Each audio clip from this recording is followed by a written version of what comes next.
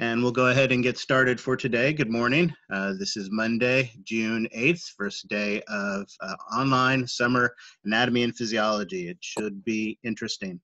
Like I said, if you have not taken the attendance quiz, please make sure you do that. The access code for that is boot. That is your way of showing me uh, that you are present. And if you don't take it, you're not here, then you're going to get the boot. So uh, make sure you do that. Uh, it is just first day, but we have a ton to cover today. Uh, we are going to do a brief introduction to the class. Uh, again, hopefully uh, the class has been open for a week, so hopefully most of you had a chance to look around and do some of the things, but there are some key concepts that I wanna make sure we cover, including uh, some of the key highlights of the syllabus. And look at some, And of, look at some online, look at some of our online resources. And then also, then we will start our lecture today primarily talking about anatomical terminology. And then we will st- also start our lab information by talking about organs and organ systems. Uh, so that is going to be the game plan for today. Uh, as you can see, as you've looked around, there is a lot of material that is due in these first couple days. So some of it is some housekeeping stuff that has to be done, and some of it is just to because we have to hit the ground rolling. Uh, there is a student info sheet that is due today by 4 p.m. Uh, that is your way of giving me information about yourself or asking questions about the class. It helps me to tailor it to this class. So that is something that's important to get done so that we can talk about that tomorrow. Although I have had a chance to look at some of them and I do want to mention some of the things that I saw from those as we go through it. Uh, this class has a chemistry prerequisite.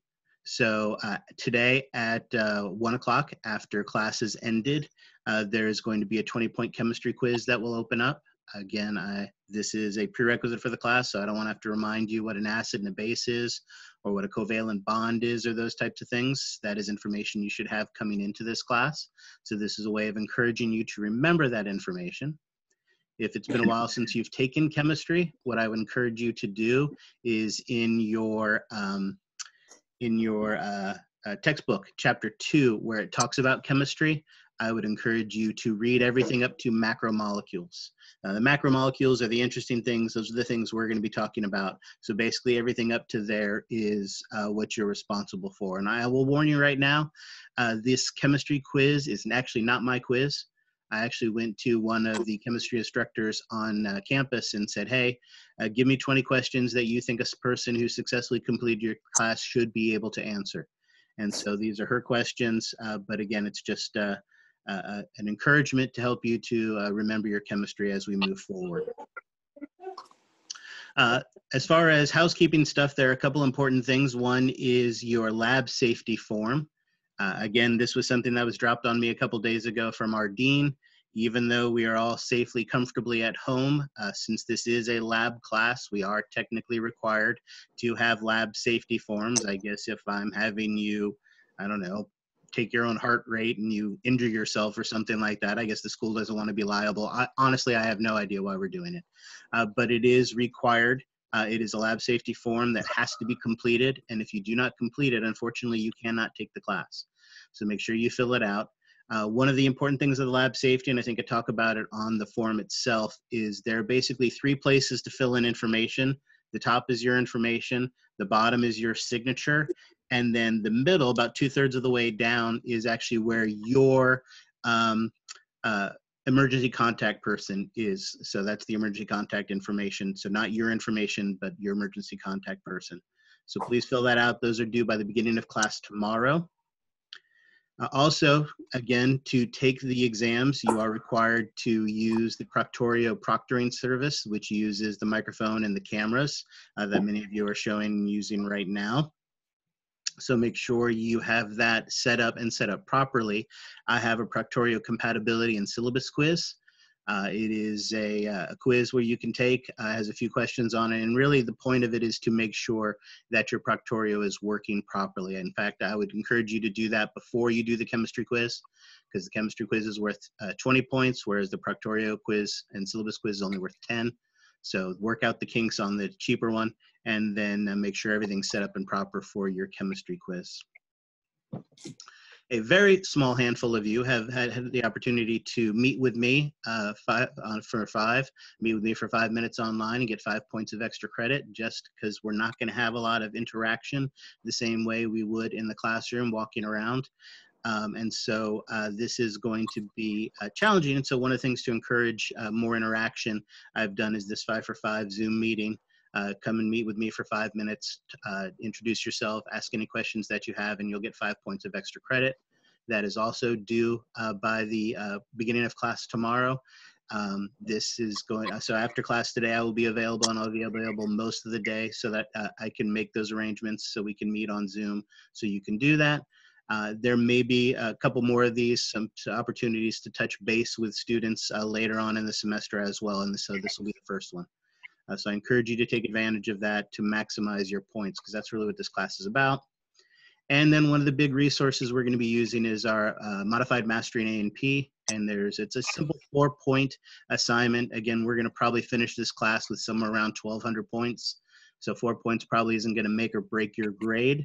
Uh, but it is um, it is important that you get on there and start looking at the resources and we'll do some of that stuff today so make sure you do that and that's due by uh, the end of the day tomorrow so i will remind you about that tomorrow as well.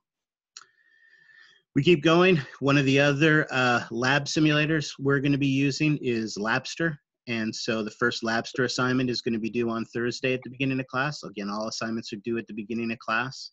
Um, and uh, so that's going to be due then. Uh, you have to complete that activity. You have to complete it 100% of the activity, and I think you have to get a score of 80% or better on it to get credit for it, uh, to get full credit uh, for it. Uh, and then also the other thing that we're going to be doing is working with a lab manual. And I'll talk more about that in a minute, but your first lab manual assignment is also due on Thursday as well. And uh, so we'll talk about that when we talk about the syllabus. So again, a bunch more people have shown up. Uh, when you come on in the morning, this is what it's going to look like. I will have what our game plan for the day is going to be. I will have the assignments that are coming up uh, set up there that you're going to, any other announcements. If there is a daily quiz like there is today with the attendance quiz, uh, the access code will be there for you so that you can get on and do that as well. So again, if you have not done your attendance quiz, uh, minimize your Zoom, go back to Canvas and do that. It's just one quick question. It's your way of showing me that you're here and that you're present. And the access code for that is boot. All right, any questions on any of that? Excellent, that's what I love, a stunned silence. Perfect, excellent. All right, so uh, what we are going to do now, I'm going to go ahead and stop sharing this and switch to our um, syllabus, or really our Canvas site is what I want to share with us now. Uh, do, do, do. So that is here. Excellent. All right. So again, you have a syllabus quiz, so you should um, have already taken a look at this or be right prepared to look at this. And so I'm not going to read the whole thing step by step, but I do want to talk a little bit about, like I said, our Canvas site, starting first here with the syllabus site. Yes, it has the syllabus. It has a copy you can uh, download uh, from this as well and all of the information, uh, including, for instance, like our student learning outcomes. Uh, if you ever have trouble sleeping at night, I would encourage you to come here and read these. This is our goal for both 430 and 431. This is a two semester class. Uh, one of the things that I really want to talk about right now here first is our uh, class materials because uh, there's been a lot of questions on this and I want to make sure everybody understands uh, what they are responsible for. The real key to this class is there are really three main resources uh, that are needed for this class. Uh, and there are several ways to obtain those. The first of these is our textbook.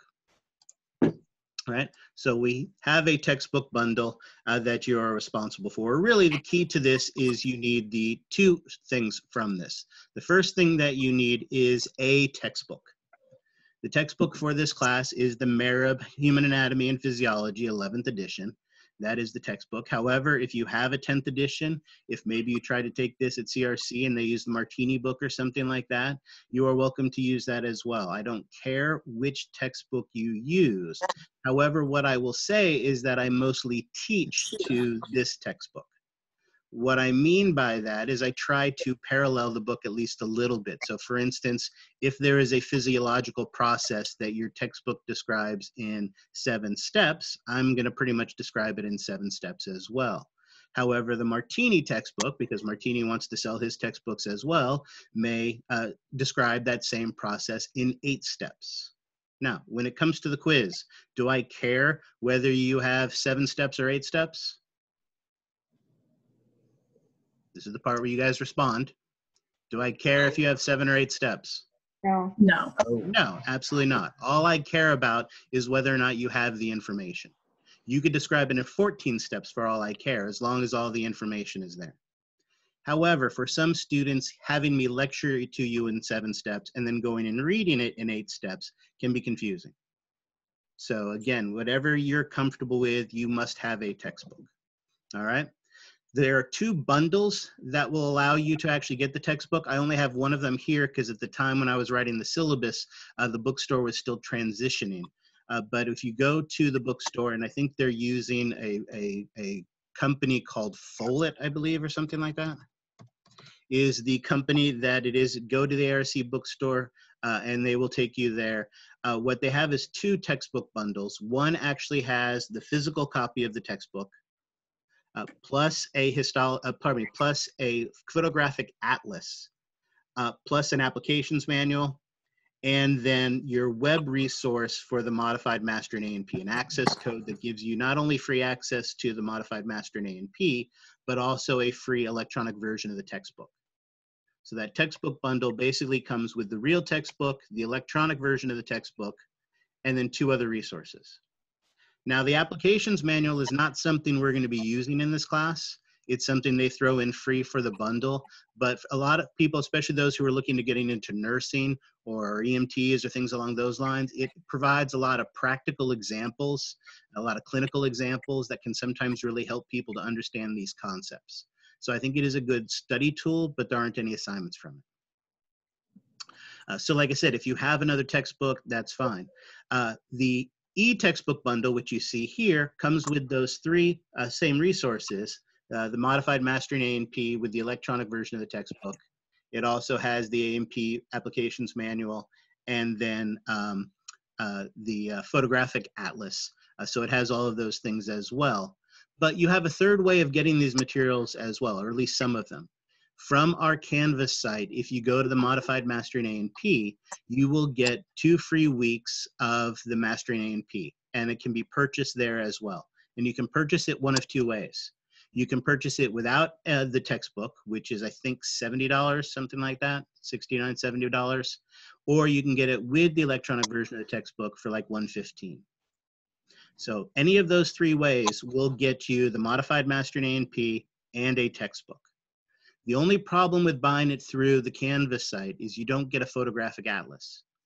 Again, this is our first time doing A&P online. I know we did half of a semester of it last uh, semester, uh, but for the beginning of the class is the first time, and, and this is going to be a challenge. Uh, you have to realize you are going to be learning the bones without ever holding a bone in your hand. You're going to be learning a muscle without ever holding the muscle models in your hand. So having a really good photographic atlas that does a really good job of showing you the pictures and showing you the bone features is something that is going to be really, really important in this class. Yes, your textbook has it. Less your modified mastering A&P has it. Your lab manual has it. All those things have these resources. But the more ways you have to look at this stuff, the better it's going to be. The easier it's going to be for you to master it.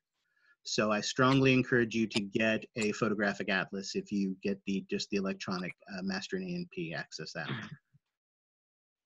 The second thing you're going to need though is going to be a, or I guess the third, the third thing you're going to need, because we need a textbook, we need the modified mastering A&P, and the third thing we need is the lab manual. Now, mine is bound. This is the teacher's edition, and it is bound. The student version, if you get a physical copy, is actually loose leaf, which is nice. One of the things I love about this lab manual is it is like a workbook. So it is much more interactive than most of the other lab manuals that I have worked with. Professor, is this uh, version? That's it right there, exactly. Perfect. Thank you. Um, and so it's it, it has uh, workbook aspects to it, which I really really like. I really enjoy, uh, and you're going to be turning those in for grades. Now the reviews for that. Now that's not the same thing that you just showed me, is it? Okay. Yeah, that's not the same thing as what you showed me. This is not the same thing as what Uh, okay. okay. I know. I know. I know that one. Okay. Okay. Um, those reviews have two parts to it. Uh, that's one of the things I like. Every unit has a review, and the reviews have two parts. The first part is a check your recall, whereas where you're basically just regurgitating information. Uh, you know, you learn something, you throw it on the page. But the second part of it is a check your understanding, and that one is more critical thinking type questions. I really like those questions. It really helps you to think about the material, and often those uh, a check your recall, uh, pardon me, check your understanding questions will sometimes show up as essay questions on the exam. So it is important to do that, do both parts of it. And with that lab manual, what I'm looking for is effort and time. Homework basically in this class is free points. As long as you put your time and effort into it, you are going to get full credit. Right? Most homework assignments I am grading for completeness, not for correctness right? There is no reason you should get something wrong. You have your textbook, you have your lab manual, you have the almighty Google. So you should be able to come up with the correct answers for these things. But as long as you're putting time and effort into it, I'm not going to mark you wrong. You're, let me rephrase that. You're not going to lose points if you get something wrong. All right. There will be a few assignments that we will do that will be graded for correctness, and I'll always warn you about those ahead of time. But most homework assignments, I'm looking for time and effort. So as long as you put time and effort and you get it wrong, you're still going to get full credit. If you leave an answer blank, or if a question says A and B and explain, and you just say A, that doesn't show time, that doesn't show effort, and that you will lose points for. So you won't lose points for getting it incorrect. You will lose points for not putting time and effort into your homework assignments. And there are a large number of homework assignments in that lab manual. Now, again, you can get a physical copy. Uh, it can be gotten through Amazon. It can be gotten through the bookstore. The nice thing about the bookstore is it is bundled with a histology atlas. This histology atlas, even though you're never going to hold a microscope in your hand, we are going to look at a tremendous amount of microscopy slides, especially when we're doing tissues, especially when we're doing skin, especially when we're doing the nervous system we're going to look at a lot of histology. We're going to be looking at a lot of slides. And so for a lot of students, it's the least intuitive thing we do. So having a good photographic histology atlas is something that's really important. Because again, you have a lot of resources. Your textbook's got some, your lab manual has some, the, the modified mastering A&P has some, but it doesn't have a lot. So usually what you do is what most people do. When you need something, you go to the almighty Google. The problem with Google is Google is too powerful, right? I'm sure like you, you wake up every morning and the first thing you do is say hi to Google in the morning. And like me, you do your first web search. And my first web search is usually Justin Bieber shirtless, right? Just to see what new tattoos he's gotten this week. Now, if I type that into a Google search, is every single picture that I'm going to get actually going to be Justin Bieber shirtless? Anybody want to try it to make sure? No. No, it's not, right? The good news is I know what he looks like, so I can tell the ones that are really him and not him. The problem is if you type in a ciliated pseudostratified columnar epithelial tissue into a Google search and get a hundred pictures or a thousand pictures or a million pictures that show up, if you're not familiar with what a ciliated pseudostratified columnar epithelial tissue is, then you're not going to know which ones are actual ciliated pseudostratified columnar epithelial tissues and which ones are not. So having an atlas where you can actually look at that tissue and understand that tissue, and then once you understand it, you can go to the Google and you can see lots of different examples about it. So having a good histology atlas is also something that is going to really help you to be successful in this class. All right? Question. Yes. Um, so these resources, are these going to be the same resources used for 431? Yes. so here's what I will say. Um, if for every single instructor on campus, we all use the exact same textbook. So as long as you take 431 at American River College, you will be using the same textbook, you'll be using the same modified mastering A&P, you'll be using all of those same resources the same. What I will say is only about half of the instructors use this particular lab manual. There are a couple that use some of the other ones. Uh, so there is, it's not quite as much of a consensus on that. So the lab manual would be the only thing that would be slightly different. But the textbook part is definitely something uh, that you can get. Now, again, you can purchase this, the physical copy, take pictures of them, fill them out, do it that way. The other way you can get them is you can rent them from Vital Source and Chegg. Now, I am much more familiar with Chegg. I have had students use Chegg in the past for the past probably two years to rent uh, the lab manual, and they don't. I haven't had any problems. Any students have problems with printing limits on how many pages they could print out. Uh, so uh, I don't know as much about Vital Source. I think their printing limits are somewhat different, so I don't know if you'd run into problems with that uh, for their downloading and them. Uh, for those, you can either print them out, fill them out, take pictures and turn them in, or you can uh, complete them online and turn them in that way. But uh, you are going to be turning these assignments in as graded assignments. Uh, so again, you need that. And like I said, the first one is Thursday. So uh, we want to get started on that. Okay, Okay, thank great you. question. Any others? I have a question, Professor. Yes, yes. Um, are all the student learning outcomes uh, like across the board for all Los Rios colleges? Like if I were to take A&P, the second A&P at CRC, like would I be prepared with your class and vice versa? Yes. Uh, 430 and 431 ac- across uh, uh, the whole Los Rios School District is the same class. So yes, so the things that I teach you should, I should prepare, uh, my goal is to prepare you to take anybody's 431 class. Now, the only thing that I would say with that is different schools may use different resources. Uh, so they may use a different textbook as well as a different lab manual. Uh, but yes, all the material that I teach you will help you to be successful in any 431 class at any Los Rios school. Okay, thank you. Yep, great questions. And and again, this is this is another important thing that I should mention. As you see, I tend to talk fast. Uh, and this is without caffeine. I haven't caffeinated yet this morning, so you should see me with caffeine. It's really, really bad. Uh, and uh, so I strongly encourage you to uh, take the opportunity to ask questions. I am a strong believer that the only bad question is the question not asked. Uh, again, if you are confused by something, I guarantee someone else in the class is confused by it as well. So be the one that's brave enough to raise your hand or to speak out and ask that question. Right. And again, here we have it even nicer. If you're embarrassed and don't want to raise your hand, you can use the chat window to ask a question that way.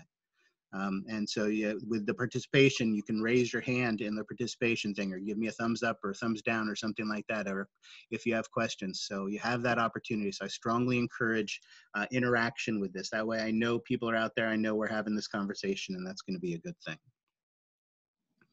All right. Uh, the last obvious thing that is required for this class is going to be, where's my, there it is. Obviously, uh, web camera and microphone. Again, the Proctorio is going to be the monitoring system we're going to use for all the lab, all the lecture exams, and the final exam. Uh, you have to be proctored for this. Uh, I know from talking to a couple students, it does seem a little invasive, and it is a little invasive. Uh, but this is the nature of the online format. If we are going to maintain the integrity of the class, we need to maintain the integrity of the test taking process. Uh, and I want to talk about that a little bit later as well. Uh, so you'd have to have a webcam, you have to have a microphone, you have to have it set up properly uh, to be able to take those exams. All right. So those are the things that are necessary. Questions on any of that? I had a question. Yeah. So we're gonna need um the photographic atlas and anatomy, physiology, and the photographic atlas of histology. Both of those. So this photographic atlas, and let me see if I have one here. Yeah. So this photographic atlas is the gross anatomy. So what this is, is things like, you know, the muscles or the bones or things along those lines. So that's what the, uh, the photographic atlas is. Whereas the histology atlas is microscope slides. So one of the, so the histology atlas is for your microscope slides. This is for the microscope work. Uh, the photographic atlas is the one that, for instance, when we're learning, uh, perfect. When you're learning the bones and bone features, you have a picture of the bones, you have a list of what the bone features are, and these are the things that you're going to be responsible for on the exam. So being able to recognize and identify those things. Uh, like I said, your textbook, your, your lab manual, uh, even the Master A&P will have some of those things, but the more resources you have to help you to be successful, the better. And so these histology uh, the and the photographic these atlases uh, are really beneficial for learning the material. Like I said, one of the huge challenges you guys are going to have is you're not going to get that hands-on experience. Right? You're never going to get a chance this semester to feel a bone in your hand, uh, and that makes it more challenging to learn it. And so the more ways you have to really look at it and understand it, the better off you're going to be. Okay. All right? Hi, Professor. Can I use this uh, version? No, that is not the same. Oh, uh, for the atlas, yes, yes. For an atlas, yeah. yeah. Yeah, it doesn't have it doesn't have to neither it doesn't have to be either of these two particular atlases. These just happen to be the ones that are in the bundles, and the advantage of the bundles is they're by bundling them together, they're less expensive. But if you have if you already have another atlas or something like that, you're welcome to use that. Okay. Yeah, if you're a huge Grey's Anatomy fan and uh, you grabbed an atlas because you liked the show, yeah, that's fine too. Whatever, whatever Thank you you. fancy, as long as you have one of those resources, that's what I care about. All right, Okay. excellent. All right, uh, mouse. All right. Uh, next thing I wanted to talk about is the course evaluation. Again, there are going to be both lab and lecture exams, and you're going to take them on the same days. Uh, again, just to avoid confusion, one of the things, because of the way the Proctorio system works, technically, these are uh, under the quizzes on the uh, on Canvas, so that's where you're going to find those. These have to be completed. They can be completed in either order that you want. You can take the lab first or the lecture first but they must be completed during the class time. Uh, so from 8 o'clock in the morning till 12.35, these will be available, but that is the only time they're going to be available. So again, if you start your lab exam at noon, you're only going to have 35 minutes to complete it. And I can promise you that's not enough time. All right, they are going to use the Proctorio system. Uh, and again, there is that Proctorio uh, uh, and uh, protocols um, uh, quiz for you to take. I haven't had a chance to see everybody's yet, but there are a couple of key things that I want to point out. Uh, most of you are getting uh, the three things that you can lose points for wrong, uh, and also doing it wrong as well. Uh, one of the three things, one of the most important things you need to do during that quiz is to show your workspace. When you are doing the scan, I'm not interested in, right, seeing what's on your ceiling or seeing what's on your bookshelf. What I care about is what is on your workspace, right? There should not be papers on your workspace. There should not be other electronic devices or other computers that are turned on or things along those lines. You need to scan your workspace. I have to see what's on your workspace because the problem is that while you think you like to look down and to the right, so while you're thinking about a question, you're sitting here looking down and to the right on the quiz. And if you haven't shown me what's down and to the right, I don't know what's there. And if I don't know what's there, you're going to lose points right? Again it's it's it's a matter of the integrity of the class. So the more apparent you can make your environment uh, the more flexible i can be about when you're looking away or you're rubbing your head or you're blowing your nose or doing those types of things. It is important to show your workspace. If you don't show your workspace you are going to lose points right? And then again no electronic devices uh, there shouldn't be any papers or any other resources right? You have that um, you have that um, uh, what's it called? The little uh, i can't think of it the thing with the pencil where you guys drew the star. Uh, you have a little worksheet basically that you can bring up that you can make your notes. If you have your mnemonics and you want to type them there so you have them there as a reminder that's fine to do that uh, you can do that. Uh, use the magnification when on the lab exam to make things bigger like you did to on that quiz as well uh, especially if you're on a mac I know Macs, it's really simple to enlarge your screen size, but if you do that during the quiz, Proctorio will kick you out. So use the magnification that is in the Proctorio. Use the worksheet that is in the Proctorio. There's no uh, scratch paper that you can have on next to your desk or anything like that. Your desk should be clear or your work environment should be clear and make sure you show that correctly. A quick question.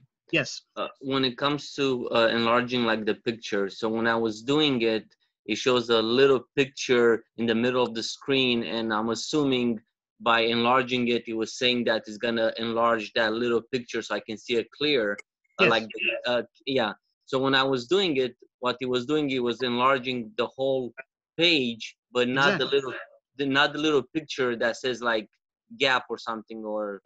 It, it did enlarge, it does enlarge the whole page. Uh, it sometimes will reset the page, so you may have to scroll to where you need to go. Because if the page is too big, you may have to scroll left and right as well as up and down to be able to get to it.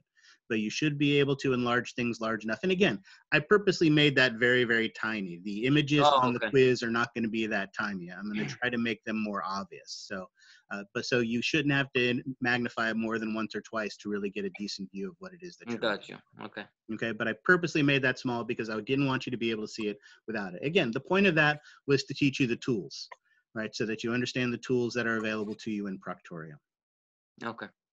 All right as i mentioned most of our lab assignments and again that is the keyword there most because what does most mean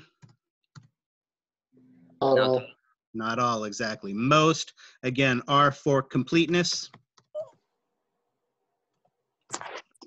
Uh, so again, you, as long as you're putting time and effort into it, you will get the points for it. So make sure you're doing the homeworks, make sure you're turning them in on time. I have had numerous uh, instances in the past where students have done really well on the exams, but they weren't doing the homework or they were consistently turning in late. And as you continue to lose those points, I've had several students who ended up with B's instead of A's, even though they were getting A's on the exams because they weren't completing the homework assignments and they weren't turning them in on time. Homework is free points for studying. Put time and effort into this material and you are going to be successful. Okay? Finally, the goal of this class is, like as we were talking about earlier, for me to prepare you for 431. Not only do you need to learn this material, but everything I've picked from this class uh, helps you to be successful in 431 as well, as long as you remember this information for 431. So to encourage you to not just, you know, cram and purge the information on the exams, but actually retain some of this information, you have a 100 point cumulative final exam as well. And that will help you to make sure you've mastered this material and be prepared for 431. All right. The last bit of points, as it says here, you have 15 participation points. These participation points are for hopefully coming and being active, asking questions. But as long as you're here and you are participating, you're being active in the class, you will get those 15 points. Again, this is a grade. It is not extra credit. Everybody here is here right now, so you're getting your 15 points of extra credit. I mean, it picks 15 points for that out of 15 uh, for that. But again, if you're not showing up on class, I expect you to be here. I expect you to participate. I expect you to take the quizzes. Again, there will be daily quizzes, uh, sometimes first thing in the morning, sometimes in the middle of the lecture, sometimes at the end of the lecture. Uh, there will be quizzes, so it is important to be here and to be. And again, by end of lecture, I mean when I'm done talking, not necessarily at 12, you know, 35. So don't just show up at 12:30 expecting to take a quiz, because we may have taken it a half an hour before then. All right. And this class is about points, all right? One of the important things is to uh, understand about points. Uh, anybody here play golf? No. Heard of golf? Know what a golf ball is? Yes. Played a couple times. Perfect, excellent, right? In golf, if you had a 300 uh, yard drive, how many strokes does that count as? One, excellent. If you hit a two inch putt, how many strokes does that count as? One. Exactly, right? No, not two, Cody, just one. Don't play golf, huh? Um, one.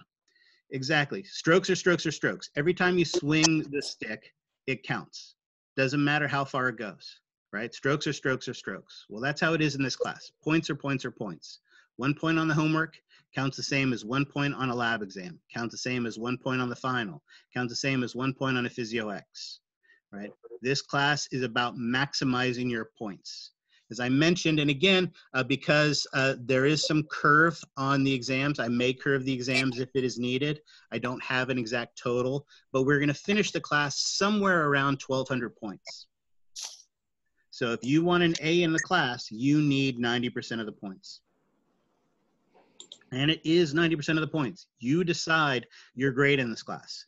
There's tremendous beauty to this. If every single person in this class gets 90% of the points, every single person in this class will get an A. So it's not competitive. You're all working together to be successful on this, right? But like I said, uh, there will be some extra credit opportunities. All the extra credit opportunities are going to be involved in the class, like the five for fives that we're doing, and maybe some other activities.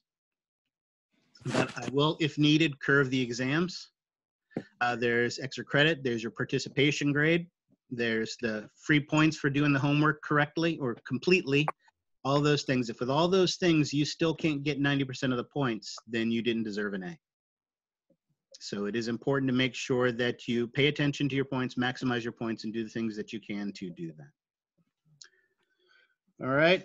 Uh, and I think that's everything that I wanted to say about that. Questions on that? I did want to come back up here real quickly. Uh, up here. Again, method of instruction. And lecture is going to be like this. I'm going to be talking, showing you things on screen. Uh, yes, Jason, you have a question?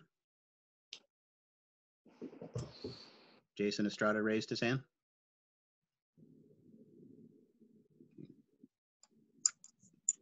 Okay.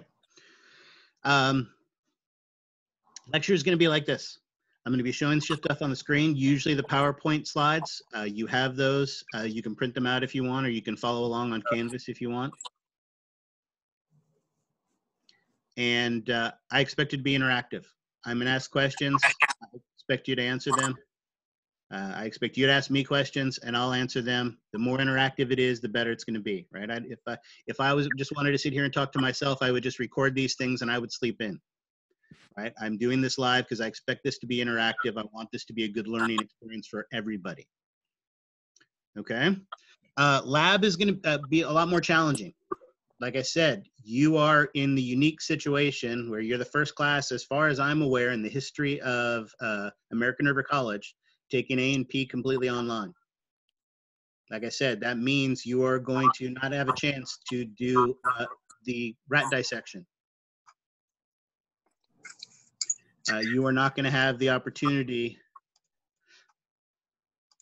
um, to hold a bone in your hand, to hold the muscles in your hand, right? To do a sheep brain dissection. There are a lot of opportunities you guys are going to be missing out on. And one of the nice things about 430 is I get to hold your hand a little bit more as we work together through the lab material. But our lab time isn't going to be spent that way. So one of the things is it's putting a lot bigger onus on you to take the initiative to spend the time with the materials, with your atlases, with the resources that are online to make sure you're getting this material.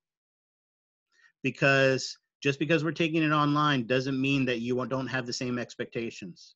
I don't know yet what's happening in the fall. They say fall is going to be online as well. That is the most recent thing I've heard, but maybe they will change that and allow some labs on campus. I don't know what's going to be happening but whether you complete 431 in the fall or maybe wait till spring when it's hopefully will be back online or everything that goes along with that or when you get to your nursing program you're going to be expected to know this material. So i have set the same standard that i would if we were in the classroom and that puts a lot more of the responsibility on you. So make sure you're comfortable and aware of that coming into this. It's going to be a challenge. And this is going to be new. We had a little bit of a learning from the end of last semester, but that was only the second half of the class. The first half of this class has never been done online before.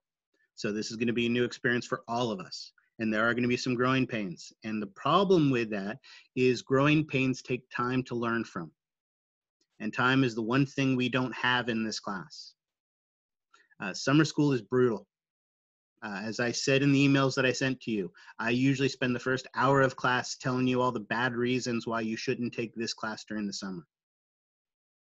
Right? Success in this class is based on the amount of time you can put into it. And the problem with summer is you're getting the information twice as fast and you have less than half the time to study it. Think about spring.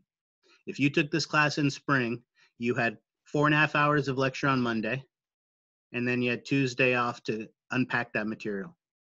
Four and a half hours of class on Wednesday, and then you had five days off to process all that information, make sense of that information before you had to go back on Monday.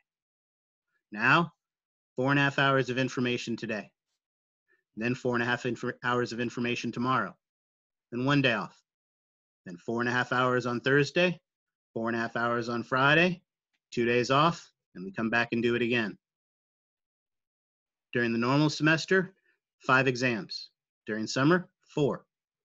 That means the first two exams, which are usually the hardest, the first exam is hard because most people aren't familiar with taking a real science class. Chemistry doesn't count. So they're not quite prepared for the level of responsibility that a class like this does. So a lot of people struggle. And the second exam is histology. It's all microscopes, 100% microscope stuff. Right? Those two exams are now combined into one, and you have it two weeks from today. Right? It's there. The ARC recommends that for every hour of lecture, you spend three hours studying at home. And for every hour of lab, you spend one hour studying at home. Well, I'm going to talk for at least three hours every day. So that's 12 hours a week times three is 36. And then an hour and a half of lecture, I mean, of lab every day, which is six more hours. That's 40 hours. That's 42 hours. That's more than a full time job. One of the things that I saw on the student info sheets is a lot of people said that they are taking other classes uh, during the summer. Now, I promised my wife I wouldn't call you guys stupid, but if you are taking this class, I think that's a mistake. Never in my entire academic career did I take a summer school class. Right? But I understand a lot of you feel the responsibility of time. I just want you to fully understand what you're getting yourselves into. But taking this and another class during the summer is crazy. There's not enough hours in the day to be successful with that. Right? The problem with the online format, from what I've seen, is it requires a lot of busy work. So if you're trying to take this, which has a lot of busy work, and another class that likely has a lot of busy work, and this and this grade matters for most students. So again, I, I I'm not trying to be harsh. I'm not trying to be mean. I'm not trying to be scary. I know it comes off that way, but one of the things that I love about this class is that this class is hard. And the reason I love that is I can be very straightforward. I can be, I don't have to be tricky. I can tell you X, Y, and Z is going to be on the exam because I know you're still going to have to spend hours and hours mastering X, Y, and Z. And so the advantage of being tricky is that I can be very standard, very straightforward, very simple, and uh, you know exactly what to expect. And the important thing about that is the learning process doesn't get in the way of you showing me you have this information. And one of my biggest fears about this class with this online format is that this online format the process gets in the way of showing me the information. And so again, I just I want you all to I know how important this class is to all of you, and so I just want you to fully understand what you guys are getting yourself into with this class. All right. All right, so that is that. Let's talk about uh, oh lab assignments. Like I said, for completeness for most of them. Again, there will be a few that will be graded for correctness. I will warn you when that is going to occur. And like I said, extra credit. All the extra credit is going to involve working in the class.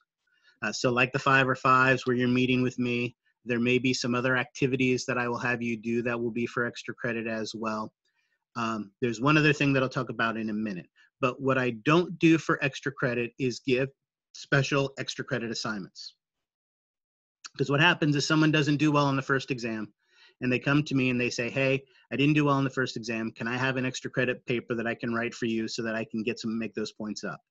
And if I say yes and give that to them, then that student is going to spend all their time working on that extra credit assignment and they're not going to be preparing for the next exam. And so when the next exam comes around, guess what? They don't do well. And suddenly they need more extra credit again. And then this continues and then suddenly it's independent study. And that's not what this is. All of the home, all of the extra credit that is going to be available will be available within the class itself. Now, there is one other extra credit opportunity that I encourage you to take advantage of, uh, not just because it's extra credit, but because it's going to help you in the class. And that is the open labs. On Wednesdays,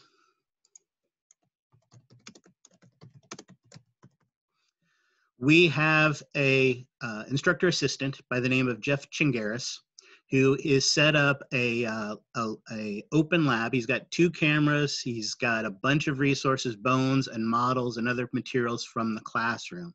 And what he is going to do is he is going to be online in Zoom. So I should make that clear. Uh, online in Zoom. Uh, and he is going to be available for you to go in, check in. He's going to be uh, uh um, answering questions. He will be demonstrating models and bones and materials and things along those lines. And you can go and ask questions and observe that material. When you go in, you check with, in with him, give him your name and student ID, uh, and he will check you in. When you leave, make sure you let him know to check out, because if you forget to check out, then you default to one hour.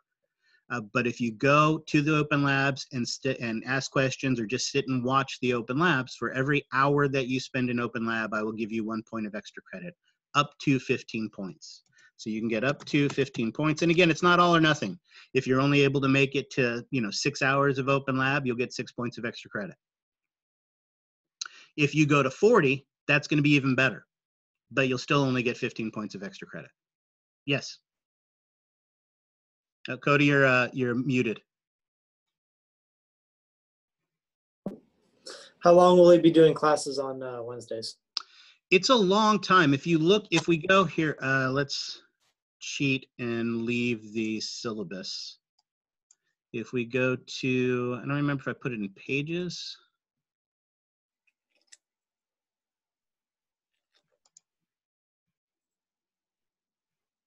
Yep, here we go. Okay. So under pages, open lab, and here's also the link to it as well. From so if, notice from 10:30 to 8:30. So he's there for a massive amount of time on Wednesday. So hopefully it's flexible with your schedule. Uh, you can uh, go in there. There's no password. Uh, giving you a quote here from him, what it is. Again, it's useful you get 15 points of extra credit. But more important than that, if you spend 15 hours in that open lab listening to Jeff and asking Jeff questions, you're going to get a lot more than those 15 points of extra credit when it comes to taking the exams. So again, this is another really great way of, since you can't hold the bones in your hand, have somebody else hold them for you and walk you through them. So it's a great activity that if you're able to partake in, definitely do it. Just make sure you check in with him when you enter and check in with him when you leave to make sure that you get full credit for being there. All right. All righty. Uh, back to the syllabus real quickly, just because there's two more things that I wanted to go over. Again, all the things down here at the bottom, uh, the accommodations, oh, the, here, no makeup exams, again, because of the speed of uh, summer school, uh, and the requirement that this be an, a, a, synchronous class. The exams are just during the class time and just on those days. So if you look at the schedule and you see that there's a conflict, uh, let me know. And if there is a serious emergency, something serious happens, I may I will try to grant a um, make an exception, but I can't guarantee it. And It's because it can't be guaranteed just because of the pace of the class. I have to set up the rule that there are no makeup exams, but we will try to make accommodations if necessary for someone. Obviously, the sooner you make me aware of it, the better. Uh, obviously, it's hard to schedule, you know, car accidents days in advance. So I understand that emergencies happen, uh, but uh, try to communicate with me. And again, if you're being rushed to the emergency room, I shouldn't be the first person you call. Uh, but try to communicate with me, and we will try to make those um, those accommodations as necessary. Speaking of accommodations, if you have a DSPS accommodations, uh, we can, like additional time and things like that, that are things that can be done. I just need the paperwork, so make sure you get that done. That paperwork sometimes takes time, uh, and uh, um, we, we, you know, our tests are right around the corner. Uh, academic honesty. Again, as I mentioned, the the challenge, one of the challenges, like I said, is the process gets in the way and that the Proctorio is a challenge. I appreciate and understand that.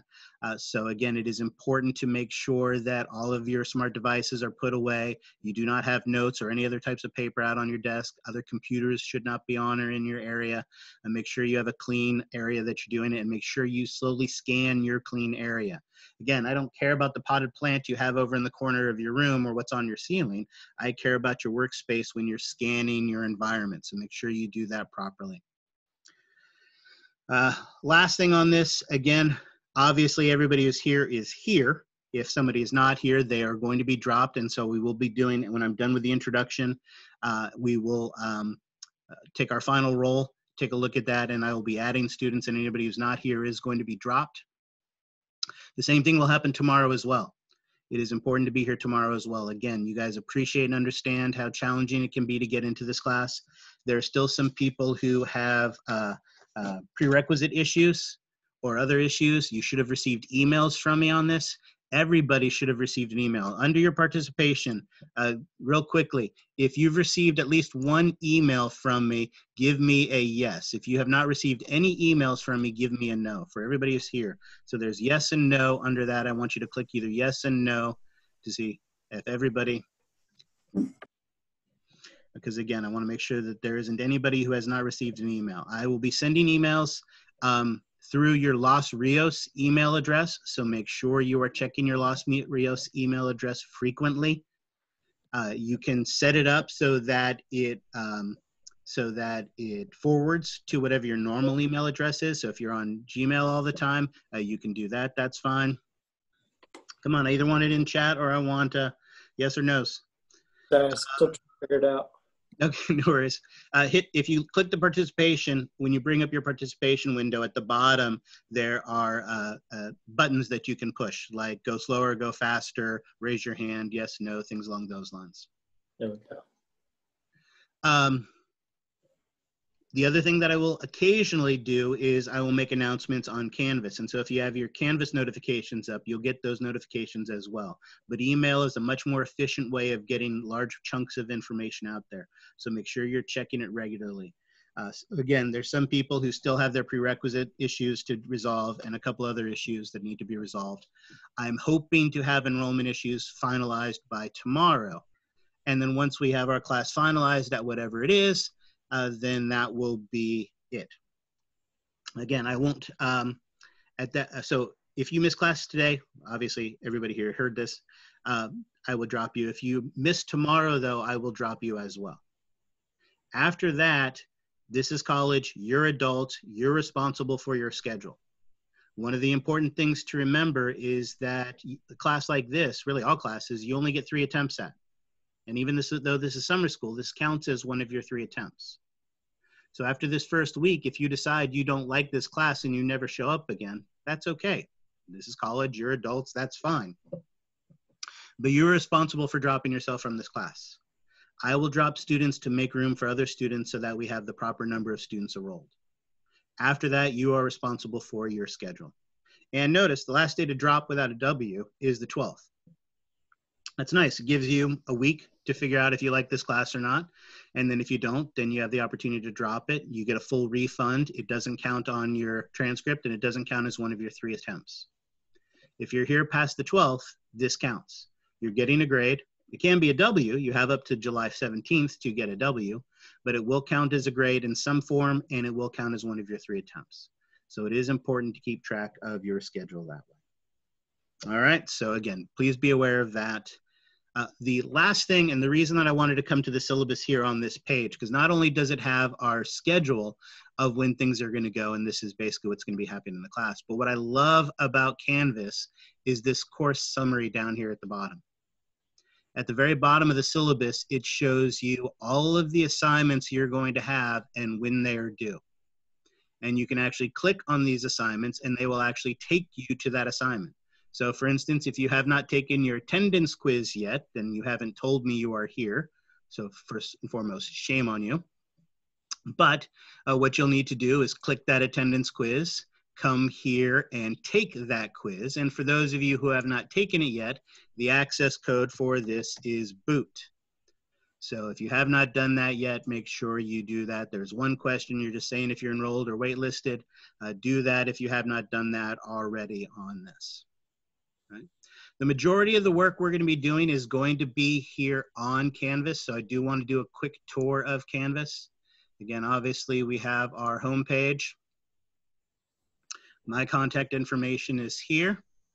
Uh, the announcements are going to be here. So as you have announcements, those things are here to remind you of those things that are coming up.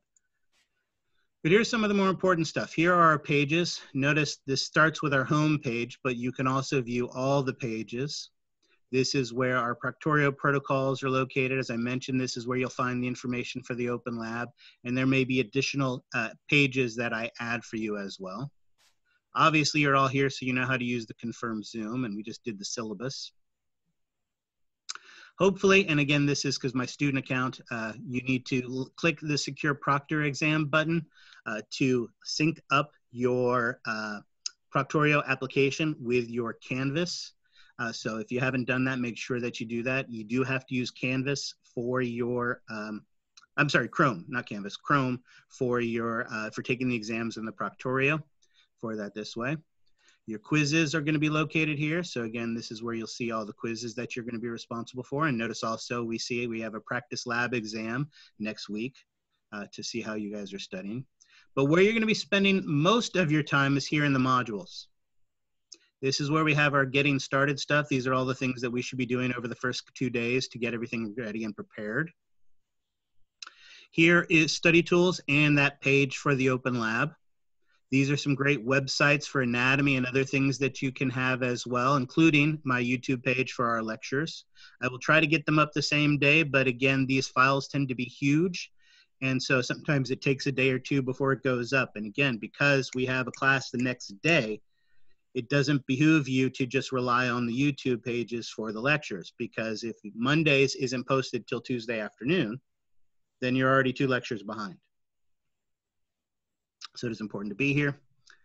Um, here, under each section is where everything is formatted. First, we have the assignments, and we'll come back to those in just a minute, but it's a nice reminder of all the assignments that are going to be due.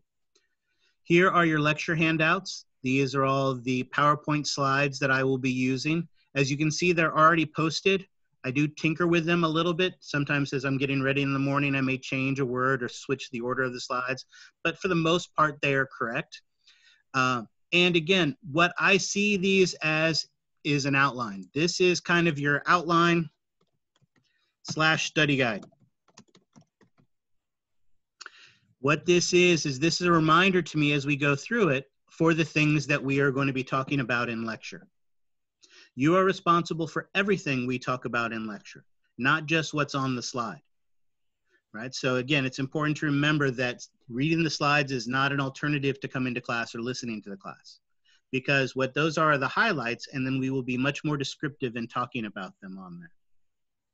And like I said, you are responsible for everything we talk about in class. I know different instructors have different um, philosophies on how they teach a class. The way I see my job in this class is to be your tour guide. Right? If you go to Paris for the weekend, you don't just start in the upper north corner of Paris and go street by street through all of Paris. It's much easier if you have a tour guide who can take you to the 12 most important places. Well, that's what this class is going to be like. If you look in chapter one, chapter one may have 20 concepts in it. But in class, we're only going to talk about 12. And those 12 are what you're going to be tested on. All right. So what that means is if there's a piece of information that is in your textbook that we don't talk about in lecture, you don't do a homework assignment about, there isn't a lab simulator or something like that that involves it or any of those kind of concepts, then you're not going to be responsible for it on the exam. You're responsible for the things that we cover in this class. So I am trimming the fat and focusing on the things that are most important. However, because I'm doing that, you have a responsibility to show me depth of information. I usually use a pen and a half of red ink on the first test, writing describe, explain, and on the exams. Where people typically lose points is by not being descriptive enough. You need to give me specificities. You need to give me details. That is how you're going to maximize your points on the exam. So really, these are your study guides for the lecture. For the lab, we have handouts here. Now, notice it starts with epithelial tissues because when we talk about regional terms, you're responsible for all regional terms. Uh, when we talk about the cell, you're responsible for all the anatomy of the cell. So it's redundant for me to make a study guide for that. However, when we're talking about epithelial tissues, there are dozens of epithelial tissues, and every one of them probably has 40 different characteristics you could be responsible for. What you have here is a precise list of which tissues and which characteristics of those tissues you're going to be responsible for. So this here in your in the lab handouts is your study guides for the lab portion of it. And again, when I say lecture and lab portion, I'm really talking about how we're studying the material, how we're learning the material. When it comes to the exams, you are responsible for all the information on all of the exams. Yes, lecture exams tend to lend themselves more for descriptions, describing processes. But I could ask you to identify structures on a lecture exam. A lab exam lends itself more to identifying structures. What is this? What is this? What is this? But I could also ask you, what does this thing do on it as well? I see lecture and lab as two different modalities for learning the material, but this is one class with one concept and you are responsible for all the material on all of the exams. All right. Under that are our lab simulators. These are all assignments that you're going to be doing, even using Labster or PhysioEx, which I'll show you, and a Bio Interactive, which I found that was really interesting as well. And there's two more sections in our module. The first are the answer keys. As I mentioned, I am checking your reviews for completeness. I am looking to see that you're putting time and effort into it. And remember, I said if you got something wrong, you weren't going to lose points on it. But you still need to know that information. Also, because of the speed of this class, it may take me a week to get your reviews graded, right? But I want the reviews because they're homework to be learning processes. So on the day that an assignment is due, that afternoon, the review for it, the review key, will post. That way you can look at the key, see what you got right, see what you got wrong, and understand the material. And then you'll get the grade for the work that you put into it. Because like I said, if you get some, if you get question one wrong on the review, and then that question happens to be on the exam, and you write the exact same answer on the exam, you're going to get it wrong and lose points. So it is important to know what is right and what is wrong, even though you're just getting points for effort by putting the time and effort into it. So these keys help to make sure that you have that. The last thing down here, and you notice there's nothing in it yet, is the lecture images. Uh, in describing these things, sometimes I will do some elaborate drawings or things like that. Or again, I, I say elaborate, but I'm not a good artist by any sense and uh, trying to use the computer to draw it makes it even worse. But sometimes those visuals can be useful. So sometimes when I do that, I will take a screenshot of that and put that on here for you so that you have that to refer to as we are learning the material. All right, so this is where you're gonna be spending a lot of your time. Where you're gonna be spending most of the rest of your time is in the MyLab and Mastering. Now again, uh, when you click on this link, every student has a free two week trial to that. I don't actually have a student account. So for this, what I need to do is switch this for a second. Grab my water while we're at it.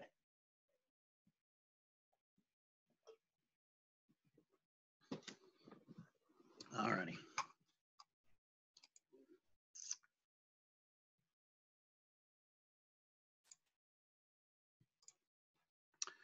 All right. When you go now again this is my instructor version so yours will look slightly different but this will show us the things that i wanted to show you. Uh, the first is the e-text. The e-text is a really really powerful useful tool for those of you who are not familiar and haven't used it before. Uh, one of the things that pearson did with this 11th edition is they made it very interactive Uh, so there's a lot of uh, worthwhile materials and stuff like this as you work your way through it. However, what I like the most and what's most powerful about it is the search. So for instance, when we're talking about mitosis, if you didn't understand that part of the lecture or, or struggled with it, you can do a search and it'll show you all the places where you find it. It'll show you the images and the figures uh, for them. So for instance, we could click on that and go there. Here it has the glossary and it has a list of all the locations where it talks about it. And so you can click on that and it will take you straight there. Uh, on this, you have the opportunity to, uh, my tools? There we go. Change the settings. You can highlight material. Uh, you can uh, uh, sorry, you can highlight material, you can put notes in here. There's all these different resources and tools that you can use uh, to be able to work with and learn this material. So it's really, really powerful tool. You can set bookmarks. You can do all these types of things in here. Like I said, it is really useful. Uh, so you can click that, you can highlight that, you can make a note saying, um, he said this will be on the exam. And what's cool about it is that it's permanent. So when you come back to this tomorrow or you come back to it next semester, uh, those notes, those bookmarks are going to be there. You can download chapters to your smart devices. So if you're going camping for the weekend and you're going to be out of Wi-Fi, you can do that. And any annotations you make in that, when you get home, you can sync it back to your permanent copy that you have on there. So it is a really powerful tool. It's a really good e-text. So again, it's a good tool for those of you who are comfortable with that. However, the other part that we're going to be using a lot, as you can see here, I'm going to move my windows and stuff around, uh, is the uh, study area. When you click on and go to the study area, I think I already opened it, but I'll open it again. This is where you're, not shockingly, going to be doing a lot of your studying. There are a couple ways you can do this. Notice also this is a place where you can access the e-text. One of the easiest ways to see what is available to you is to study by chapter. When you study by chapter and you click on a link, like so for instance, human body and orientation, it gives you the e-text from the textbook. It gives you a flashcard maker. Uh, there's an MP3 tutorial. It shows you some other resources. Again, the first chapter is kind of boring. Uh, so if we go to like, for instance, when we get to the muscle tissue, you'll see that there are a lot more resources that are here that are available to you including some videos and some great resources that are on here. A&P Flix is amazing uh, that we'll take a look at later. So there's a lot of great resources there. The other thing where you're going to be spending a lot of time is right here, your PhysioEx. So your physio, well, actually, we'll get to that in a second. Uh, we have an interactive physiology. This is a great tutorial that I'm going to assign some as we get into more physiological processes. So as we go down here, uh, you can see that for tissues and bones, there's some, and muscular system and the nervous system, it's going to be something that we're going to use a lot. The two resources you're going to use the most, though, is going to be your practice anatomy lab and the PhysioEx. This practice anatomy lab is going to be what is going to allow you to study and learn the bones. So when we are learning the bones, for instance, we can look at the axial skeleton. Uh, notice we have the cadaver option, so we can actually look at the actual bones of the skull. We can identify them and label them and see the bones and identify them that way. Some of these images can be rotated or as you go through them, there'll be different views. As you get more comfortable, you can take a quiz where it'll point to a bone or a bone feature and you have to guess what that is and you can check your answer and hey, what do you know? I got it correct. Or when you're feeling particularly frisky, you can take the lab practical. In the lab practical, they will show you a bone feature and then you actually have to write in what the correct answer is. It's a great way of learning this material. When we get to the muscular system, we can look at the limbs. And again, it's fun to look at the cadaver, to go through the different layers of that. But what's going to be more helpful for you, if you notice down here, anatomical models, muscular system, upper limb, what you have is an image of a model that is identical to the one that's in the, in the classroom, identical to the one that we have pictures of that you're going to be responsible for. So again, it is a way to learn and gain this information and study this information.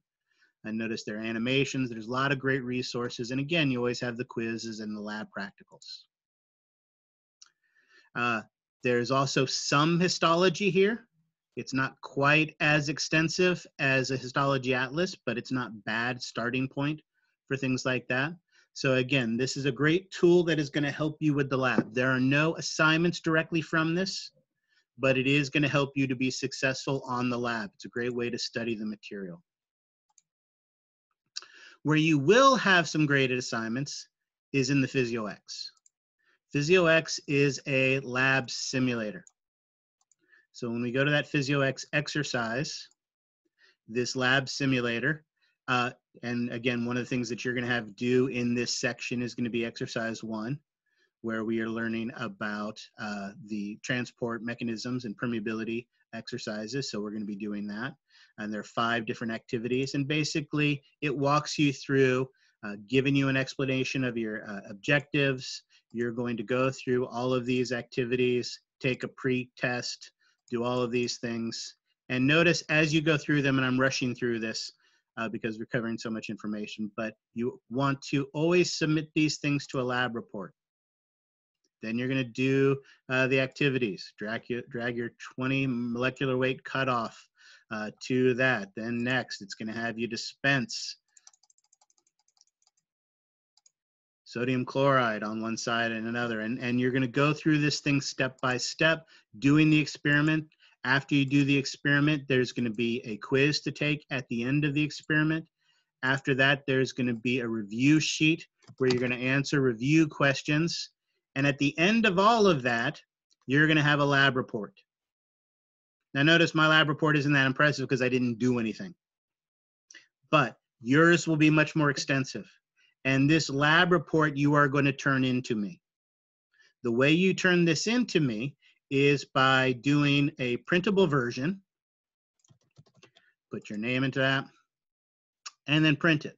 Now you can do two things. You can kill a tree by printing it out as paper and then uh, taking pictures of it and scanning it in or something like that. But the easiest thing to do is with your print option to save it as a PDF. You save it as a PDF to your desktop. PhysioEx exercise one, save that to my desktop. Boom, we're there. Excellent. And then what you're going to do, I have to switch, so hold on.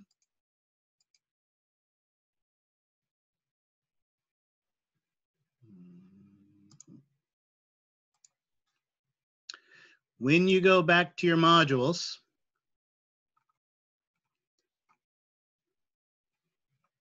lab simulators, PhysioEx exercise one. And again, this is really going to be true for all of your assignments. When you go to the assignments, what you're going to do is you're going to submit the assignment here. So I'm going to submit the assignment. I'm going to browse my desktop. I'm going to grab that file. And I'm going to submit it. And so it'll be submitted that way. And that's really how you're going to submit all of your assignments. Oh, hey, wait, look at that. I got confetti. So you're going to uh, submit all of your assignments. Notice there are five different activities. You're going to have five different lab reports. So you're going to submit those that way. Your unit reviews work the same way.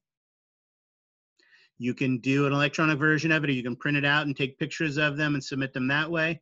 But when you come to the unit review, you're going to go to the unit review and you're going to submit the assignment in the exact same way. All of your homework assignments are going to be submitted this way.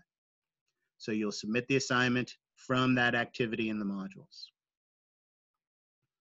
All right, and that is the PhysioEx. Questions on any of that? All right, I know we've covered a lot of material.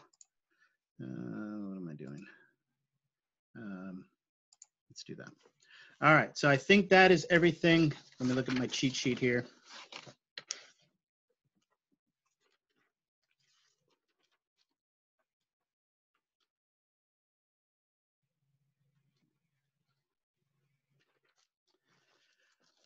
I think that is everything that I wanted to do from an introductory standpoint. So here's the first most important question.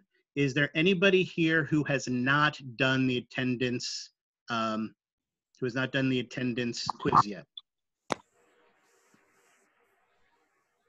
The people who are giving me the check marks, does that mean you've done it or you have not done it?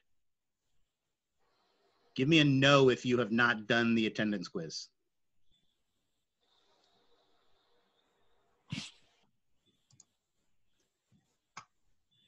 All right, if you have not done the attendance quiz, then make sure you do that. Again, the, um, the code for that is boot.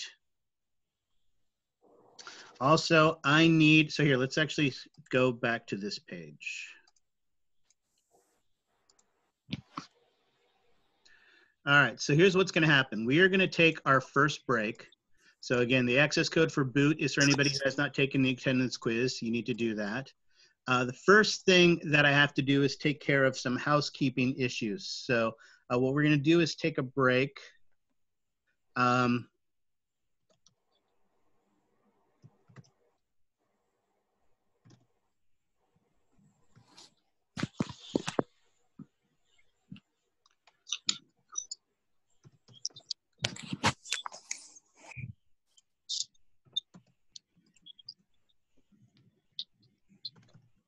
It's always a bad thing when I can't read my own handwriting.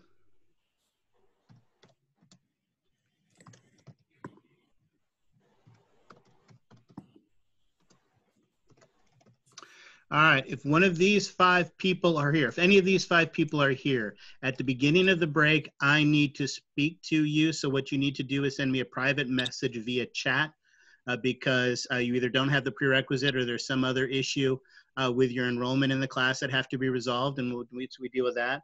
Then what will happen is I will get a chance to look at the enrollment and see who's here and who isn't, and uh, add, give, and then I will do add numbers and tell the people who can add the people uh, that can add will be able to add. So what we'll do is we'll come up with a second list, and that will be the add list. And then uh, if you get an ad, if your name is added to the add list, then what I'll need is for you to contact me via um, email after class today and I will send you the add slip. So let's not deal with that now, but you guys got to give me uh, 10 minutes to be able to do that. All right. So um, what I need, so let's go ahead and take, this will take a little bit longer break. Let's come back at 9.30. I'm going to go ahead and pause the recording, come back at 9.30 so that we can do some housekeeping things. And at 9.30, we will start into the lecture. All right. Any questions? All right, so let me deal with the first group of people, then we'll worry about the ads, and then we will uh, finally be done with the introduction and we can start talking uh, class material that you're gonna be responsible for. All right, excellent. So let's go ahead. I'm gonna go ahead and pause the recording, come back at 9.30. So let me write that too.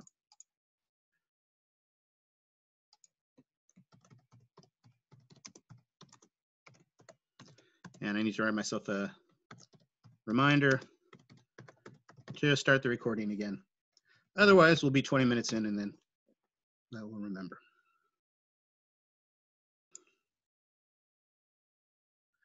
So here is the deal. These seven students uh, by last name are all uh, ads. What I need you to do after class today is to email me. Uh, when you email me, I will send you the information and the add slip so that you were able to add the class. Make sure you add the class today. Uh, the way the computer updates is that uh, the computer only updates once overnight. So if you add today, you will officially show up in my waitlist tomorrow morning. If you are not officially on my waitlist tomorrow morning, you will lose your priority to add, and I will add somebody else instead. So make sure you email me today so you can get that add slip so you can do that today. If you're not one of those seven people, um, I may scare some more people off as we continue to talk. There are still a couple of these people over here. I talked to a couple of you during the break, but there's still a couple people who still need to speak with me. Uh, so a couple more spots may open up tomorrow. So if I wasn't able to add you today, but you are really, even after all of this, still wanting to add the class, then I encourage you to uh, stick around for the lecture so that you get all the material that you're able to as a waitlisted student that was here today, you still have access to Canvas. So I expect you to do the chemistry quiz and do everything else uh, that needs to be due tomorrow. Get it done. Uh, and so that hopefully I'll be able to add more students tomorrow as well. All right. So questions on any of that before we get started. So again, these are the people who were able to add for today. If you weren't able to add today, stick around and uh, and then hopefully we'll be able to add more tomorrow. And again, if you are some of these people who still haven't talked to me, make sure you talk to me because uh, if I don't hear from you by tomorrow, uh, you will be dropped and or lose your priority to add the class. All righty. All right, excellent. With all of that, we're finally done, thankfully, with all of the housekeeping stuff. And so instead, we can focus on lecture. Now for lecture, I tend to talk animatedly, but you don't need to be uh, distracted by my face. So unless I need to show you something, I'm gonna go ahead and turn my video off. If you wanna turn your video off as well. Again, the way I look at this is this is college, you're adults, right? Uh, I'm sure all of you have been in classes where you've looked over and someone's been asleep in class right? You're responsible for this information. You're responsible for making sure you get this information. So if you want to lay in your bed more comfortably, right, and don't want all of us to see it, that is fine. You're welcome to do that. I'll turn the video on as necessary uh, if I need to demonstrate something for you. Uh, but while we're going through the lectures, you be focusing on the slide and not on my five head anyway. So uh, we'll go ahead and shut that down. Uh, and then uh, we can move forward from here. So like I said, as I mentioned, you're basically responsible for everything we talk about in class. Now, just because we're turning off the cameras does not mean that I don't expect this to be interactive. I still expect you to ask questions. I still expect you to answer when I ask questions as well. So I need to move my tools around so that I have all my toys to play with. That goes there. And that goes there. Perfect. All right, excellent. So uh, one of the things that it is important to make sure that we understand is that this class is an anatomy and physiology class. I see anatomy and physiology as a big circle. And see, now that I've turned it off, I'm gonna turn it back on again. I see it as a big circle. Anatomy and physiology is a big circle. One uh, philosophy in teaching the class is divide them separately, teach anatomy and physiology separately. Uh, that is good from a um, administrative standpoint, because for an administrative standpoint, you can get both of those uh, students can take either one first, so you can get more butts in seats for something like that. Uh, but it isn't intuitive for learning anatomy by itself is what? When we define anatomy, you know, I've also taught the 100 and 102 version of this class. How do we define anatomy? What is anatomy?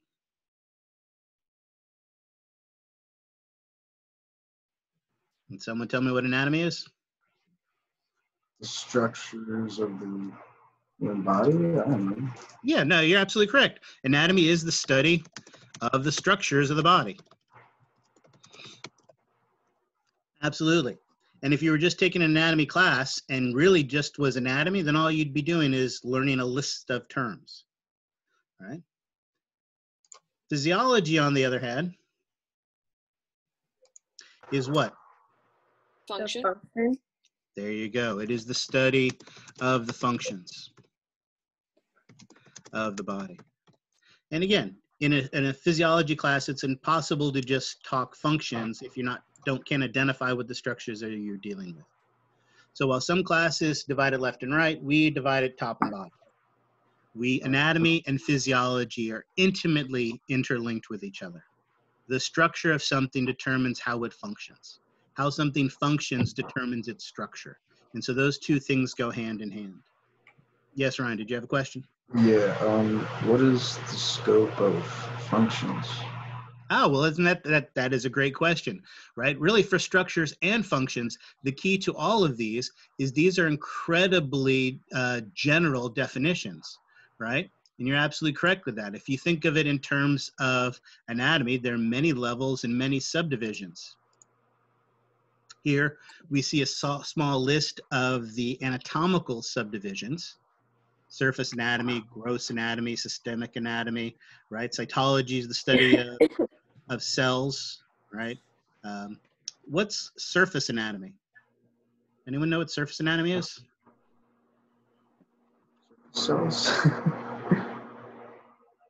Maybe like do you- the skin, I'm sorry? like Well- the skin well. Can involve the skin, but if it was just the skin, then wouldn't that really just be dermatology? Top layer of whatever you're studying. top layer is getting closer absolutely right Uh, it is it is things that can be seen from the surface or felt from the surface right if you think about it if when we get to the muscular system right i start showing you old pictures of arnold schwarzenegger during the day will we be able to define particular muscles by the cut of his body as we look at it or when we get to the skeletal system if I bring Kate Moss in here and show some of her pictures, will we be able to count her ribs by looking at the surface of her body? Yeah, surface anatomy things that can be touched or felt or seen from the surface of the body. Absolutely. So those are correct. And to answer your original question, the same way we have all these subdivisions of anatomy, we have all these subdivisions of physiology as well. Something as simple as how the cells function, to how different organ systems function, to specific organ systems like endocrinology, the study of our hormones, or cardiovascular physiology. Right? There's all these different uh, levels and subdivisions that we can study this material. Does that answer your question? Yeah. Ryan? Yeah. Can you hear? Excellent. Awesome. Perfect.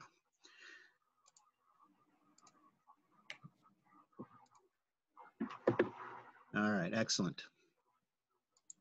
So we have all these subdivisions. Now, the other place we have subdivisions is in the organization of the body itself. Right? Any good textbook worth its salt uh, talks about the different levels of organization. And really the key magical term for this is hierarchy, right? Hierarchy is something that is in the news a lot these days. We have the president on top and then the vice president and I think they're dukes or I I don't know. I, nobody understands politics. So let's talk about something much more important. Football, right? In football, there is a hierarchy. You have your head coach and under that head coach, you have the uh, offensive coordinator and the defensive coordinator. And underneath them, you have the quarterback's coach and so on and so forth. We have this hierarchy, these levels of organization from simple to complex. And the same thing is true for our uh, body as well, right? What is the simplest level we can study the body at? Okay, atom microscopic. Yeah, there you go. Absolutely. At a chemical level. Oops, oops, if I spell it right. Um, right? The simplest and most basic level we can study the body is at is at the chemical level, right? Where we talk about atoms and molecules. If you put a bucket of chemicals together, what do you get? A reaction. True, that is the reaction. But but if you if you put enough of those reactions together in a special way, what is the next level of our hierarchy up from the chemical level? Is it the cells? Compound. Cells. There you go. Absolutely. You're right. Molecules can form compounds and things along those lines. But really, when we're talking about our hierarchy, what we're really talking about is the cellular level of our hierarchy. And one of the key differences between our chemical level and our cell- cellular level is our chemical, le- uh, pardon me, our cellular level is the first level where we can talk about life. right? What it means to be alive. How do we define life? How do we tell something is alive? Reproduction. Excellent. One of the major factors is reproduction. What else? Some energy. I'm sorry, say again? Metabolism? Metabolism. Yep, being able to do chemical reactions. What else?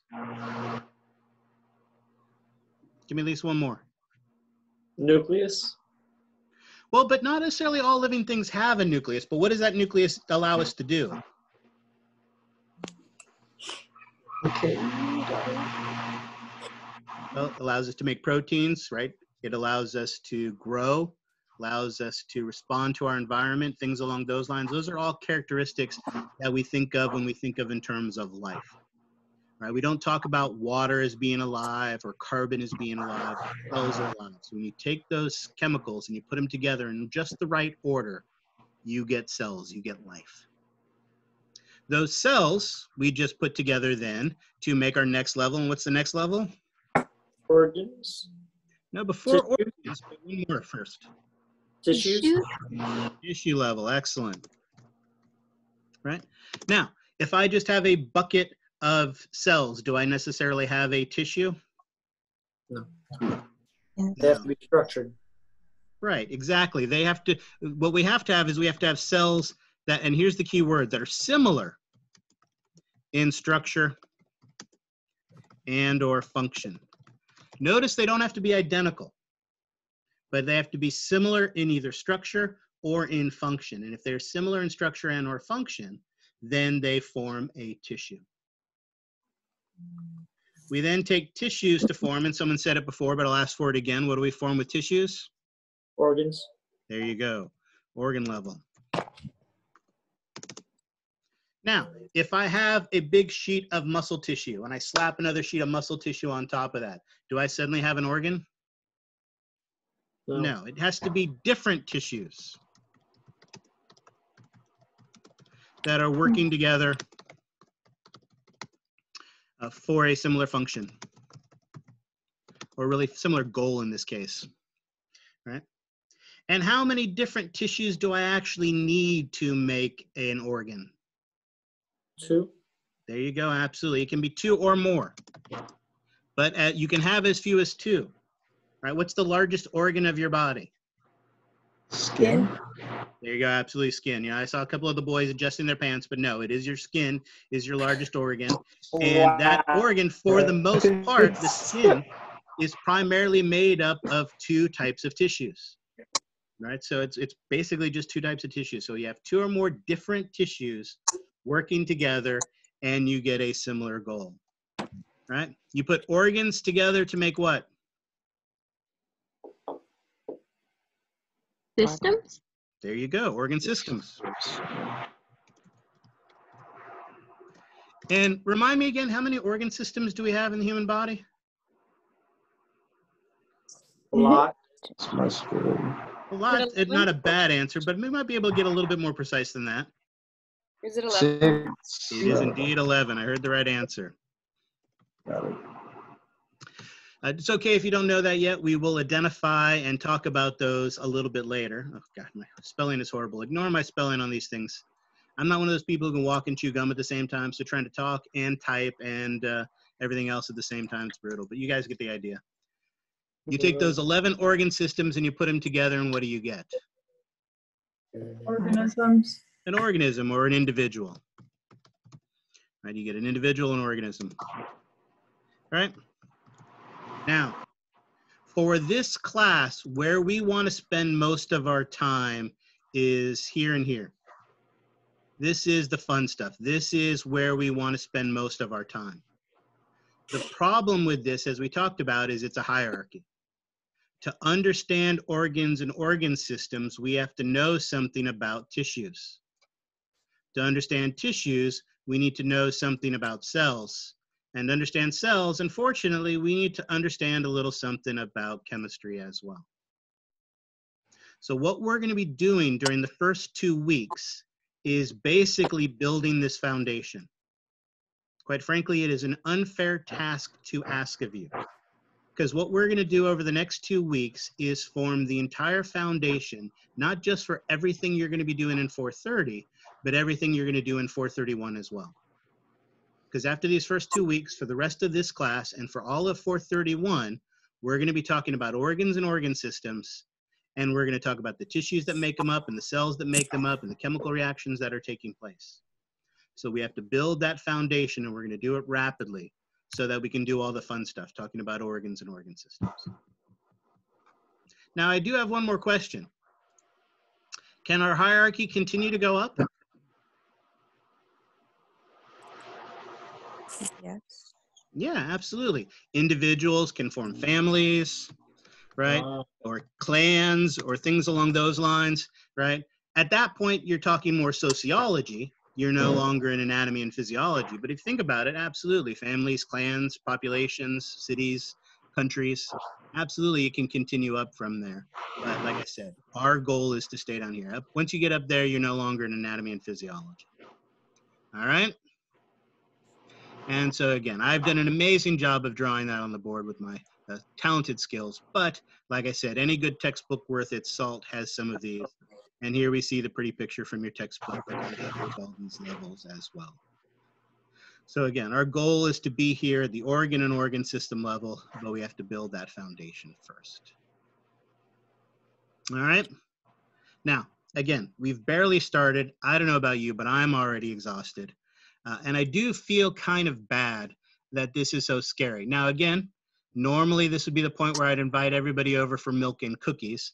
Uh, you can't come into the house anymore, but I will be outside with bags of cookies uh, and uh, hermetically sealed uh, gallons of milk for everybody uh, to be able to come to and get milk and cookies from me. And there's your information. So based on this, we get done with the class around 1235. How many people should I expect to be at my house by say one? Oh, everybody.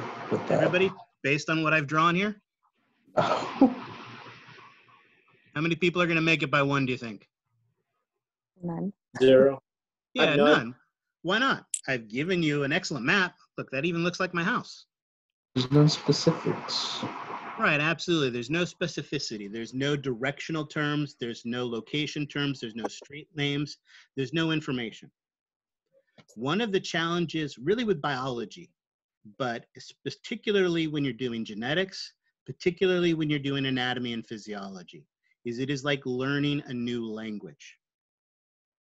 Because the deal is, when you have a problem and your doctor calls another doctor who's across the country and they need to talk in a meaningful way where they can describe what is going on in you and they both understand and they can both discuss and they can both come up with a regional with a uh, with a rational plan of how to deal with it. And so they need their own vocabulary. And the same way that this map by itself doesn't do anything because there's no reference. We need a standard reference point. And that reference point is the anatomical position. The first thing we need to get started on anything else is we need a map. That map of the body or that globe, right? You have that globe. Once we have that globe, that globe helps us to understand the difference between Africa and South America. It helps us to understand the difference between Canada and the United States, between California and Nevada, and so on and so forth. You need a map. That has to be our starting point. And in anatomy and physiology, that map is called anatomical position regardless of the position of your patient when you're dealing with a person, right?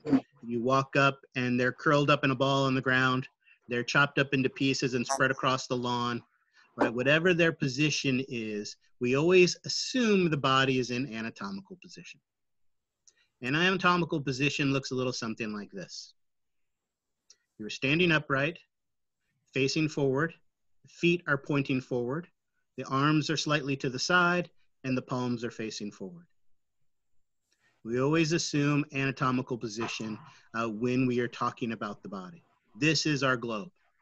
And once you have a globe, you can start talking about directions and locations, right? And again, that starts as simple as this. Is this the left arm or the right arm? Right. Right. Yeah, it may be on your left side as you look at it, but we always assume the student, the, the, the patient's position. So this is this person's right arm. All right. Once we have a map, we can start talking about regional terms. Now, as I mentioned, one of the things that I uh, talked about is that I love about this class is that this class is hard. And so it's very straightforward if we spend a whole hour and a half of lecture talking about something and you have a PhysioEx about that concept, that's probably a pretty important concept and probably going to be likely to be an essay question on the exam. This is the one exception. This right here, your regional terms, is one of the most important things you can learn and, and is going to be probably close to 20% of your lab exam. but we're only going to look at it for about a minute here, less than a minute. This is vitally important and you need to learn it now, right? Because these are terms we're going to be using it over and over again, right? What's the term for this thigh region? If you're not sure, you can always follow the Femoral. lead. There you go. Femoral region. Excellent. That is the femoral region of the body. There happens to be a blood vessel, an artery that passes through this region. Guess what it's called? Moral artery. There you go. There happens to be a bone located in this region. Guess what it's called? Femur. There you go. There happens to be a large muscle group located in this region. Guess what it's called? Hamstring. Now, hamstring's on the back, actually. The hamstring is back here. The one here is the quadriceps, but it's the quadriceps femoris. Uh, One of the muscles of the quadriceps femoris is the rectus femoris, right? There's the femoral nerve. And again and again, all of these things are going to be vitally important, right? Where do you put your Axe body spray? In the trash. in the trash. In the trash. Okay, but if you, okay, if someone were to wear Axe body spray, where would they put it? Your thoracic region. No, well, okay, sure, the thoracic region, but where is the Auxiliary. axillary region? The armpit, right? Where do you think it got its name? Axe body spray goes into the axillary Oh, region of the God. body, right? So again, these terms are things we're going to use again and again in a class, and you need to know them now. All right. There are pictures in your textbook. There are pictures in your lab manual. Notice I have not given you a study guide list of this because you need to know all of them. It would be redundant for me to write this all out again.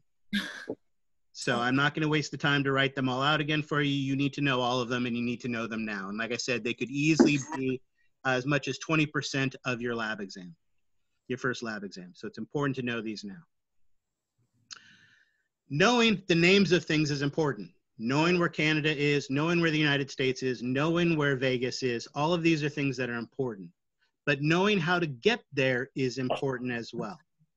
Knowing things like north and south and east and west, having these directional terms are things that are important as well. So once you have regions, you can relate those regions to each other, right? So that I could identify two structures here, like say, for instance, your eyes and your nose. And if I were to give you those two uh, parts of your body and ask you to identify the relationship of them, you would say the eyes are what in relation to the nose? Superior. Superior, absolutely. Superior would be a perfectly acceptable answer for that. And notice, like most of these terms, they come in pairs. So I could say that the eyes are superior to the nose, or I could say the nose is inferior to the eyes. All right. Is there another term we could have put in there as well? Distal. No, distal wouldn't necessarily be the right one. Oops, hold on. Away from the heart. Well, but we don't want to add a third structure yet. So the eyes are what in relation to the nose? Lateral? There you go. Another answer would be lateral. Oops, did I spell it right? Or we could say the nose is medial to the mm-hmm. eyes, right? What does it mean to be medial? Towards the midline of the body. Towards the midline of the body, absolutely. And lateral then is away from the midline. Superior is to the top of the body, inferior is to the bottom of the body. Right? So we're starting to get these north, south, east, and wests. All right? Let's do uh, two other ones instead, or let's talk about some other terms here instead. Anterior and posterior. What does anterior mean? Front. Towards the front, and posterior is to the back, where your posterior is, right? But here's one of the challenges with anatomy and physiology. One of the important rules you need to learn about anatomy and physiology is that anatomists hate you. One of the ways they do this is they make rules and then they break those rules. So that's one thing that they do that is uh, troubling. The other thing is, is the problem is that it's such a broad field that um, people talk in in different parts of anatomy and physiology, they have their own dialects, their own subcultures of the language, and so there are often numerous terms that mean the exact same thing. There are two other terms on this list that mean the exact same thing as anterior and posterior, and what are they? Let's start easy. What term on this list means exactly, hold on, let's change the color of that. What on this list means the exact same thing as posterior? Dorsal. Dorsal, absolutely. Dorsal and posterior are completely interchangeable terms. Now, there are some times where they're used, and here's another important word to learn, or phrase to learn, by convention.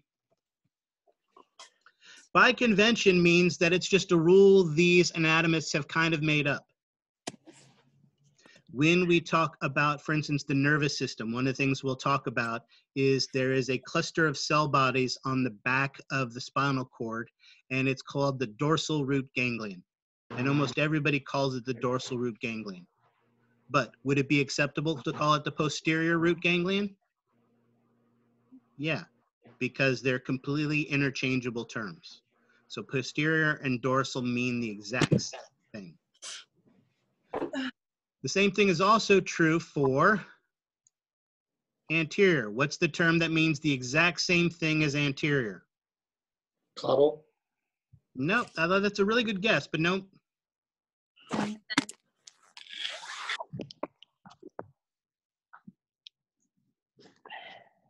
Ventral. Ventral and anterior mean the exact same thing. So these words are completely interchangeable. These words are completely interchangeable. Oh. Now, you guys are correct in that cephalic and caudal are similar to anterior and posterior. In reality, cephalic means towards the head, and caudal means towards the tail. Oops. And that can kind of sometimes mean anterior and posterior, but also, and again, with my horrible drawing skills, we'll just quickly draw a head here. Let me cheat. Let's do this first. Hide that for a second, and that will allow me to draw a head. And on that head, A nose and an eyeball and a smile. There we go. So, cephalic means towards the head, but it can also mean towards the front of the head. So, for instance, for a, um, in when we're talking about the nervous system, cephalic means towards the front of the head, whereas caudal means towards the back of the head. So notice in that case, it's not superior and, and it's not, uh, you know, anterior, pardon me, it's not superior and inferior. It's more like anterior and posterior, right? So again, we have these terms that are similar, but uh, not identical. Whereas anterior and ventral are identical, posterior and dorsal are identical. All right? And it gets even more fun than that. Mm. Oh, I need to put, hold on, let's do that back. Actually, no, never mind. Let's cheat and erase this again for a second. Oh no, I can't do that. Because the term I wanted are there. Oh, okay, hold on. See, this is the problem with doing this for the first time and like this. I don't know how to play. there we go. All right, excellent. Okay, so let's go two more terms.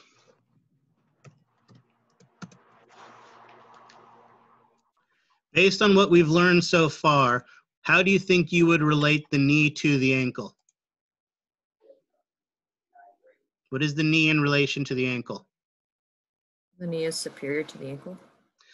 Superior would seem to work, right? Or maybe even cephalic towards the head. The problem is that's not right. So It seems like it should be right, right? Like uh. that should be a correct answer, but it turns out we can't use superior and inferior when we're talking about the appendages. when we're talking about the appendages like the knee or the ankle, or if we're talking about the arm, for instance, the elbow, Proximal. there you go, elbow and the wrist, the term we would use in this case would be proximal. Proximal means towards the core of the body. Or we could turn it around and say the wrist is what in relation to the elbow? Distal. Distal, Distal, absolutely. yeah. Yeah, so those are dist proximal and distal. Mm. Proximal and distal are used on the appendages, the arms and the legs. So even though superior looks like it might work, superior and inferior would work, it actually doesn't. All right? The other thing we can do is we could add a third component to this. Let's sneak this down. We have our elbow, we have our wrist, and then we have our shoulder. Well, based on what we've learned so far, our shoulder would be what? Proximal. Proximal, there you go. Our wrist would be Distal. distal. Distal. So then what does that make our elbow? Uh, Lateral. Well, if you think about anatomical position, actually the wrist is lateral to the shoulder. So, but, Oh. so it, it, this is proximal for the wrist, but distal for the shoulder. How, how can we condense that into one word? Like an in-between word? Intermediate. There you go. Yeah. Intermediate. Intermediate. There you go. All right. Uh, I got a question. Yes. Um, so would you not use proximal or distal for anything but the appendages? Correct. Proximal and distal are just on the appendages. So just the arms and the legs.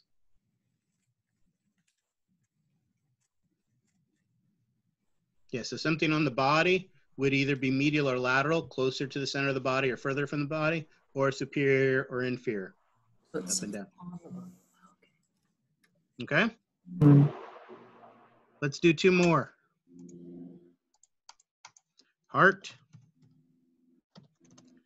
and ribs. What is your heart in relation to your ribs? Um, Or superior? no.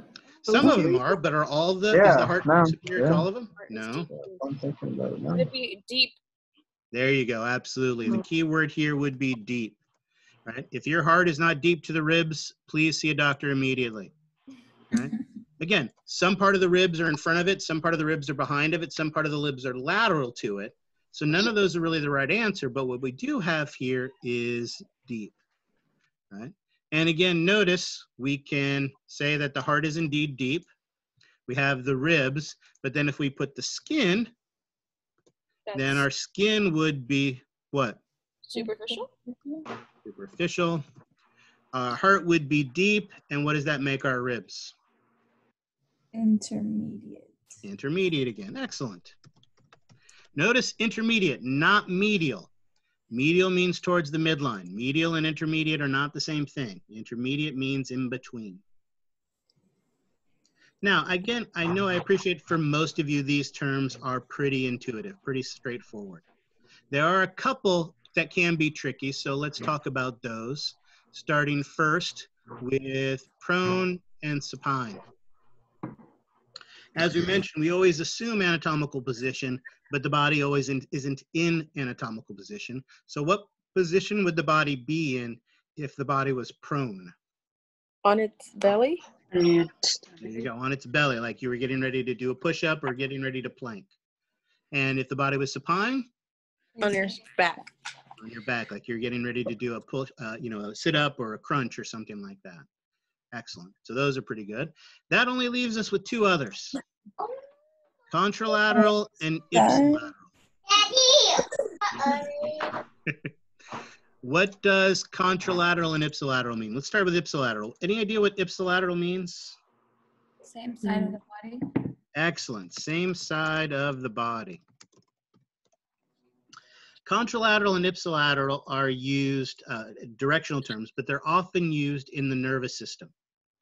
right? If you think about it, if I put my hand on something hot, what happens is I get a signal that goes up my arm to my spinal cord, tells me that I'm feeling something painful, and it sends a signal back to my arm to pull my arm away before I even know I should be cursing. notice it, notice in that pathway, the all the information stays on one side of my body. However, as many of you know, if I want to wave my left hand at you, where do I make that decision? Right. right side of the brain. Notice mm-hmm. I start with that information on the right side of the brain. It comes down and it crosses the midline to tell my left hand what to do.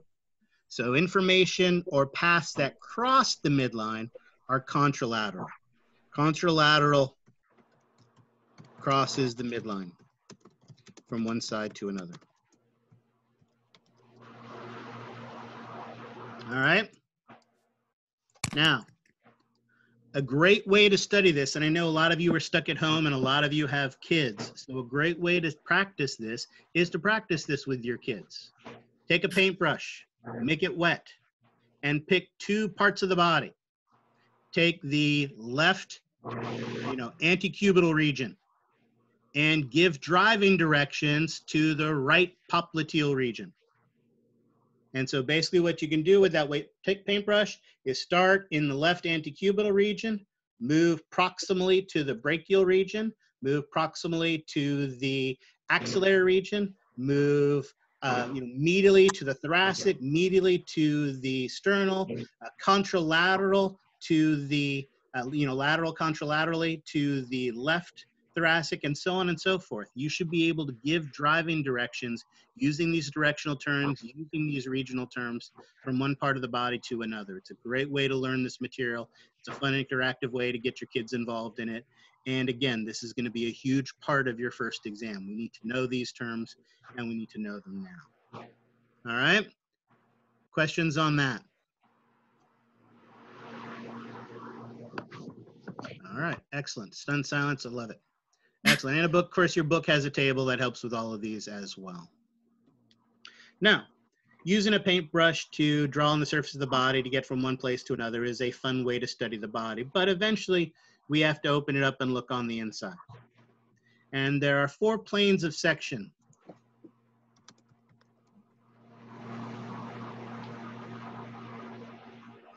And a plane of section, of course, is what divides the body into two pieces. What is one of the ways we can divide the body into two pieces? What would the two pieces be? Left and right. Left and right, excellent. We can cut into a left and right pieces. If we were to do that, what type of section of the body would that be? Anybody know? If I were to cut the body into a left side and a right side, what kind of, anyone know what we call that kind of plane of section?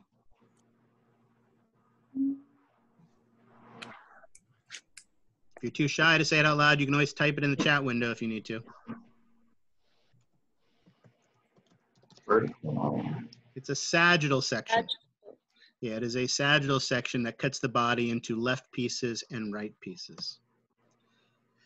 How many different sagittal sections of the body can you make?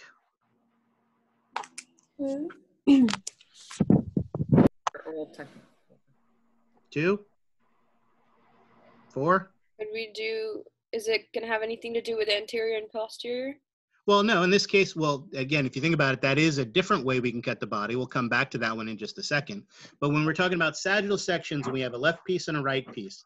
How many different ways can we cut the body where we get a left piece and a right piece? Two. Three. Two, three? You guys are close. Five. Has- Five, keep going, Eight. Keep going. 17. How about infinite? Oh, that's good. There's an infinite number. Think about it. If I cut off my right thumb, do I have a right piece and a left piece? Yeah. Yeah, and so if you think about an anatomical position, every step along the way, there's essentially an infinite number of sections that can be made. However, with those infinite number of sections, is there one particular section that will give me two pieces that are equal and opposite to each other?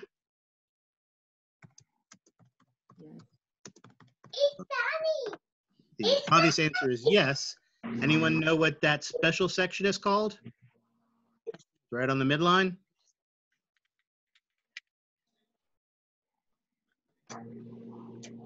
Well, it's called a mid-sagittal or a median section. That special section divides the body. Oops. To equal I'm sorry. and opposite pieces. All right. So we have that mid-sagittal section, which is a single section. All the other sections don't make equal pieces. And so those we refer to as para-sagittal. So there's an infinite number of parasagittal sections, but only one mid-sagittal or median section. Now, someone also mentioned front and back pieces. Course, we should put those in quotes because front and back are no longer appropriate anatomical terms. And thankfully, our student actually used the right terms, and that was anterior and posterior. Ignore my spelling.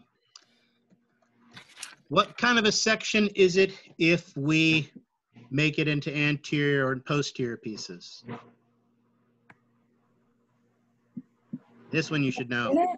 Frontal plane? One term for it is indeed a frontal plane of section. However, there is another name for it. Uh, because if you think about it, if you cut yourself into a front piece and a Is it back piece, it's like putting a crown on your head. And as we all now know, what is the term for crown? Coronal? Coronal section. There you go. So either a frontal section uh, plane, or let's be consistent with the terms, frontal section, or a coronal section. How many coronal sections can you make of the body?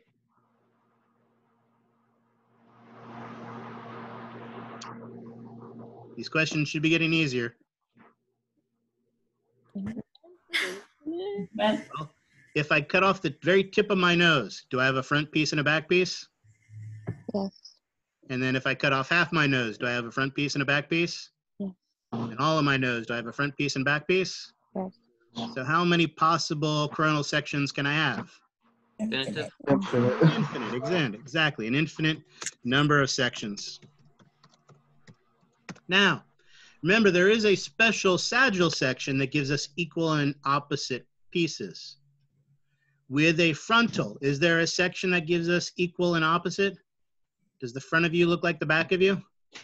No. No. No, so there is no special section for that one, right? Only the sagittal has the section, the special section. All right, we have left and right, we have front and back. What does that leave us with? Top and bottom. There you go. And we'll again put that in quotes. Because again, we want to use correct anatomical terms, so those would be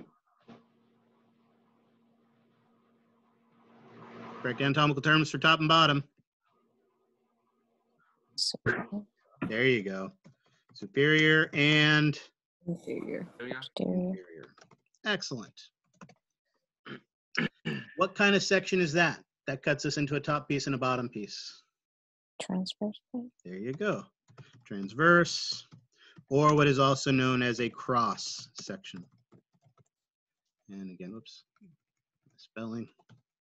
And again, let's try to be consistent. Transverse section.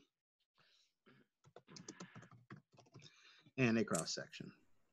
And how many number of transverse sections can you take of the body? The number of sections. Right, you take off what's left of my hair, that'd be a top piece and a bottom piece, or the bunions from the bottom of my feet, and that'd be a top piece and a body piece and anything in between. And does the top part of you look like the bottom part of you? Mm.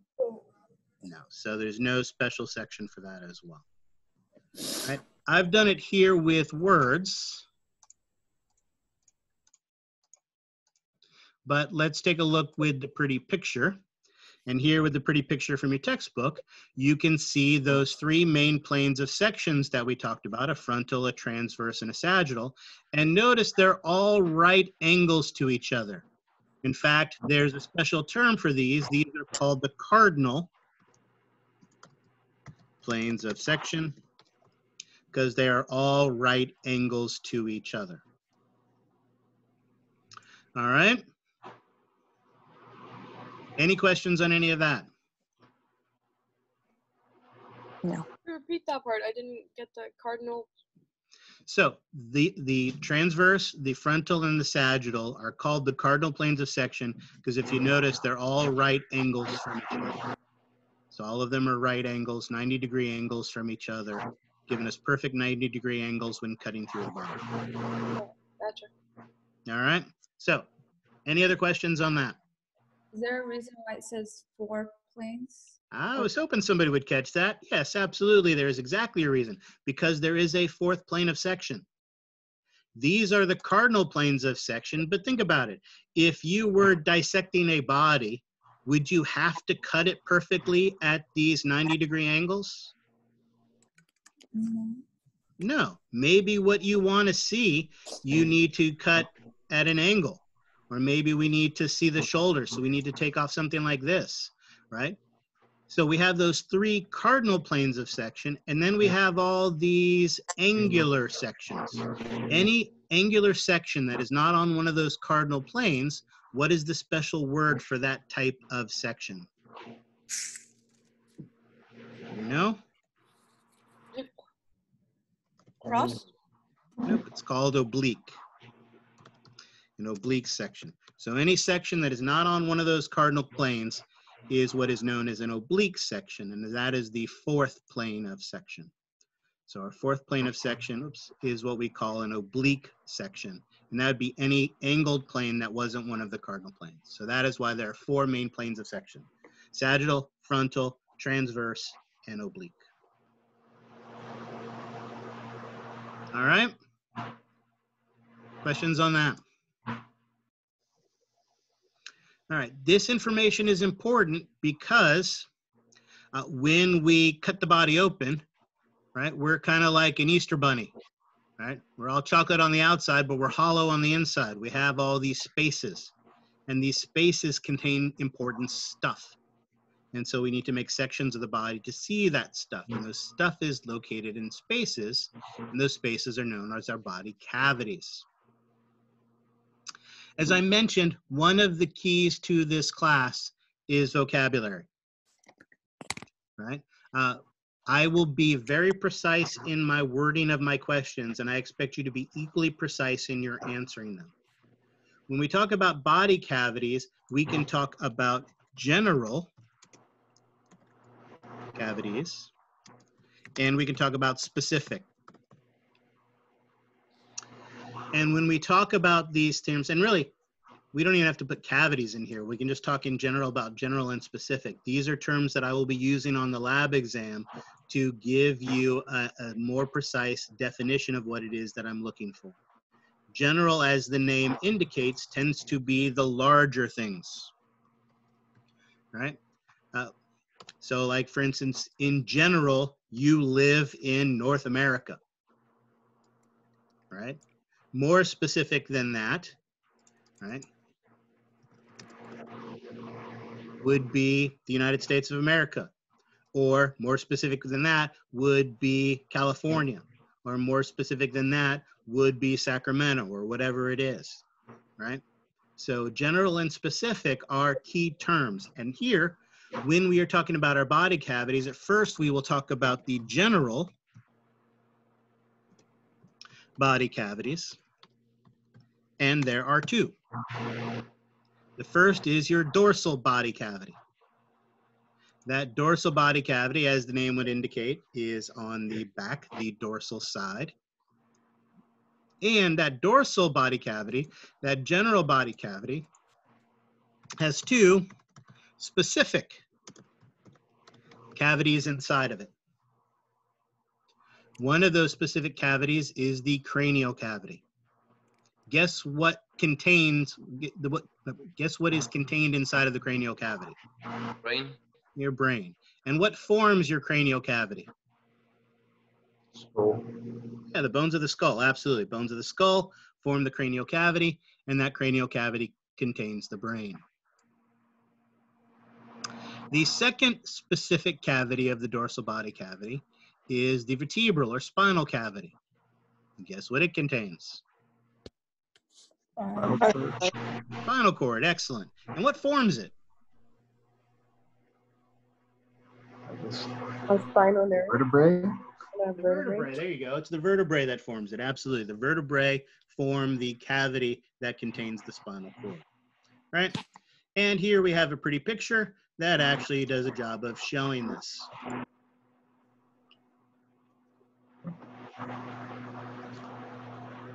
Hmm. So here, all in yellow is the general cavity, which is the dorsal body cavity. This specific cavity up here is the cranial cavity. This specific uh, cavity here is the spinal cavity. As I said, my goal in this class is not to be tricky, but we are going to be very precise with this information. And I will be very careful in the vocabulary that I use when uh, asking questions on the exam. And I expect you to be equally careful in your answering of them. So, if this was the first picture on the lab exam, and I have those two arrows, arrow one and arrow two, and I asked you to, for uh, question one was identify the general cavity indicated by tag number one. What would your answer be? Cranial cavity. Dorsal. Remember, I asked for general cavity. If I asked for the general cavity of question two, is your answer the same or is your answer different? Same. Same. So notice if I, for this, for this uh, example, if I asked you for the general cavity, the answer to both is going to be the same. But what if instead I asked you for the specific cavity? Would the answers be the same then? No. No, they would not be the same. Right? One, the specific cavity one would be Cranial. cranial, and specific for number two would be Vertebral. Spinal. spinal or vertebral. Excellent. Right? One of the things that I, again, I say it in the classroom. I don't know how I'm going to say it to you guys here. I guess I'll have to try to remind you by email or something like that. But one of the things that I constantly try to point out to students is that students often lose points not because they don't know the information, but because they don't read the question carefully. Hmm.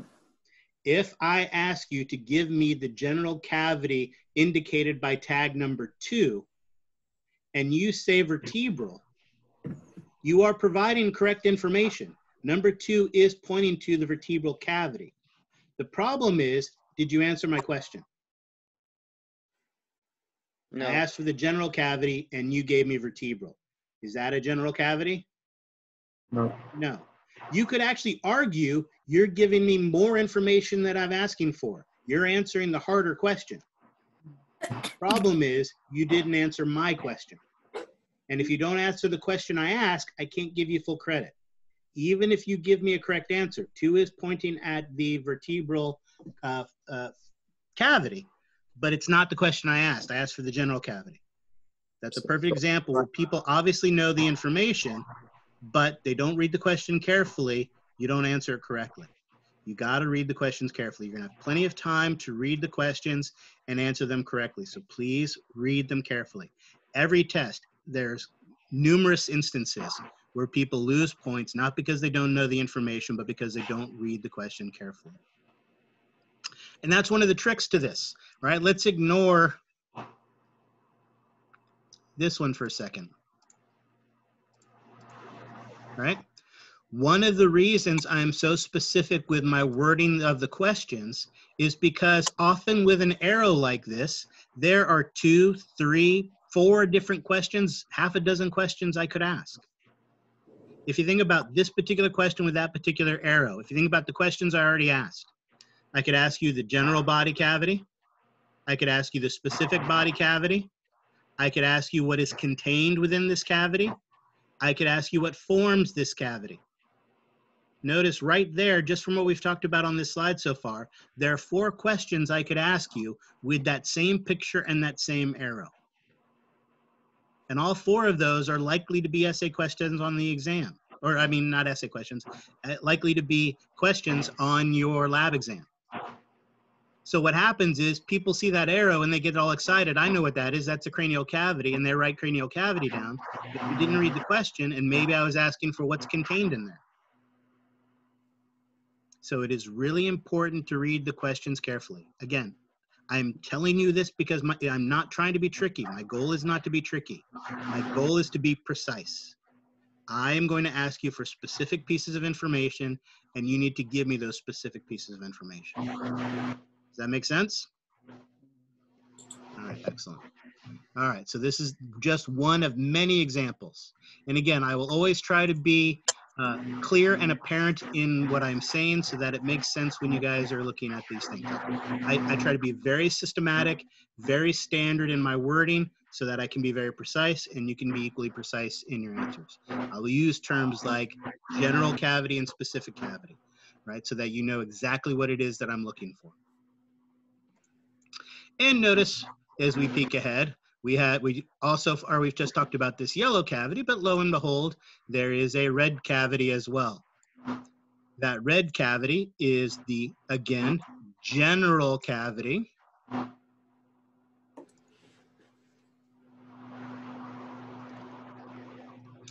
Is the ventral body cavity. And that ventral body cavity has, uh, this is where it gets a little trickier. Um, four and a half specific cavities inside of it.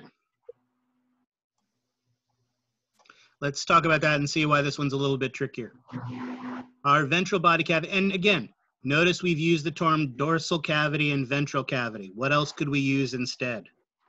Posterior, anterior. Exactly. Posterior and anterior would be perfectly acceptable. If I asked you what this yellow thing was and you said posterior body cavity, that would be 100% correct. All right. Now, let's start easy. With our ventral body cavity, our ventral body cavity is divided anatomically into two specific cavities. Now that takes a little definition. What do I mean by divided anatomically? Divided by the diaphragm and the pelvis. Perfect. Well, not just the pelvis, but you got the right idea. Divided anatomically, what we actually mean is there is actually a physical structure that separates the two cavities. And as you correctly uh, identified, that structure is the diaphragm. So notice here, if we look at the pretty picture, you actually have a curved bell-shaped muscle, a physical structure that separates the ventral body cavity into the thoracic.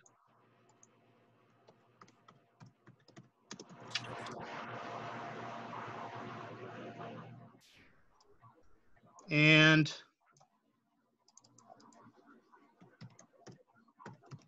pelvic body cavity. Notice abdominopelvic is all one word. So we have a physical barrier. That makes sure that things that are in your thoracic cavity stay in your thoracic cavity. Things that are in your abdominal pelvic cavity stay in your abdominal pelvic cavity. Right? If your small intestine gets up here into your thoracic cavity, see a doctor immediately. All right? Now, these thoracic and abdominal pelvic cavities can be further divided. Oh. And let's start easy. Our abdominal pelvic body cavity can be divided into how many cavities? Two. Two, absolutely. What are they? Abdomen and pelvic. Yeah, there you go. abdominal cavity, and the pelvic cavity. It's kind of in the name. However, notice there is not an anatomical structure. This is the picture is a little tricky because it does kind of show this structure here, but there isn't actually a physical structure. What they're trying to show is the bones of the pelvis, the true pelvis. Uh, the pelvis forms a bowl-like structure, but it doesn't form a boundary the same way that the diaphragm does. So this whole entire space can be further divided into the abdominal pelvic, uh, abdominal cavity and pelvic cavity, uh, but there isn't an anatomical structure that divides it as well. And the same thing is true in our thoracic body cavity. Our thoracic body cavity can be divided as well. Anybody know how many spaces it can be divided into? Four quadrants. True. Well, quadrants are actually come back down into here. We'll talk about quadrants when we talk about the abdominal pelvic cavity. So we, you are correct. Uh, when we with the abdominal pelvic cavity, because the abdominal cavity and pelvic cavity aren't as useful, we will talk not just about quadrants, uh, but we will also talk about regions when we talk about the abdominal pelvic cavity. So we will do that. And you are right, there are four quadrants and there are actually nine regions. So we will come back to that. But let's talk about the thoracic cavity first. Oh, I'm sorry. Five lobes, or sorry, yeah, five lobes. Close. You're right. The lungs have five lobes. And so you're right, the lungs do have a, there is a space associated with the lungs, and that space associated with the lungs is the left pleural cavity and the right pleural cavity. Pleural refers to lungs. But there's also a space in between. Anybody know what the space in between these are called?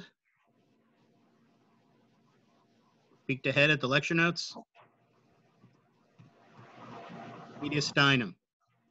And inside the mediastinum is where we have our uh, pericardial cavity. Sometimes it's easier if we see these things. So let's look at a pretty picture. I've got all of these. We did that. We'll talk about that in a second. Ah, this helps. So when we're talking about the organs of the ventral body cavity, all the squishy, gushy organs in here are known as the viscera, visceral organs. And if we look up here at the thoracic cavity, the thoracic cavity is actually divided into three regions. Right here we see it from this view, but let's look at it from this view. And one of the tricks to this class is we have to get used to peering at the body from different points of view. All right. So I want you to all bring up your chat screen right now. Actually, hold on. Let me see. I haven't ever done this before. Let me see. No, that's too much work. No, I'll have to set that up ahead of time. Um, so here's what I want you to do. In your chat window, we are looking at this. First, tell me what plane of section is this?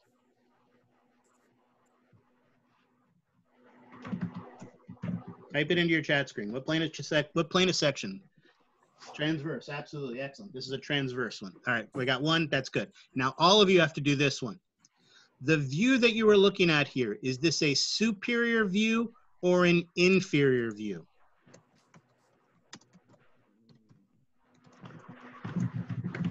Wondering. So, right? What your answer is? It's superior, inferior, inferior, inferior superior. Excellent. Looks like it's about two to one being, oh, no, superior is making a strong comeback here. Excellent. All right, perfect. It's a good mix, almost 50-50. So let's figure this out, right? If we think about this, the, what we want to do is orient ourselves on this person's body. This subject whose section, this transverse section we are looking at, are they in a prone or are they in a supine position?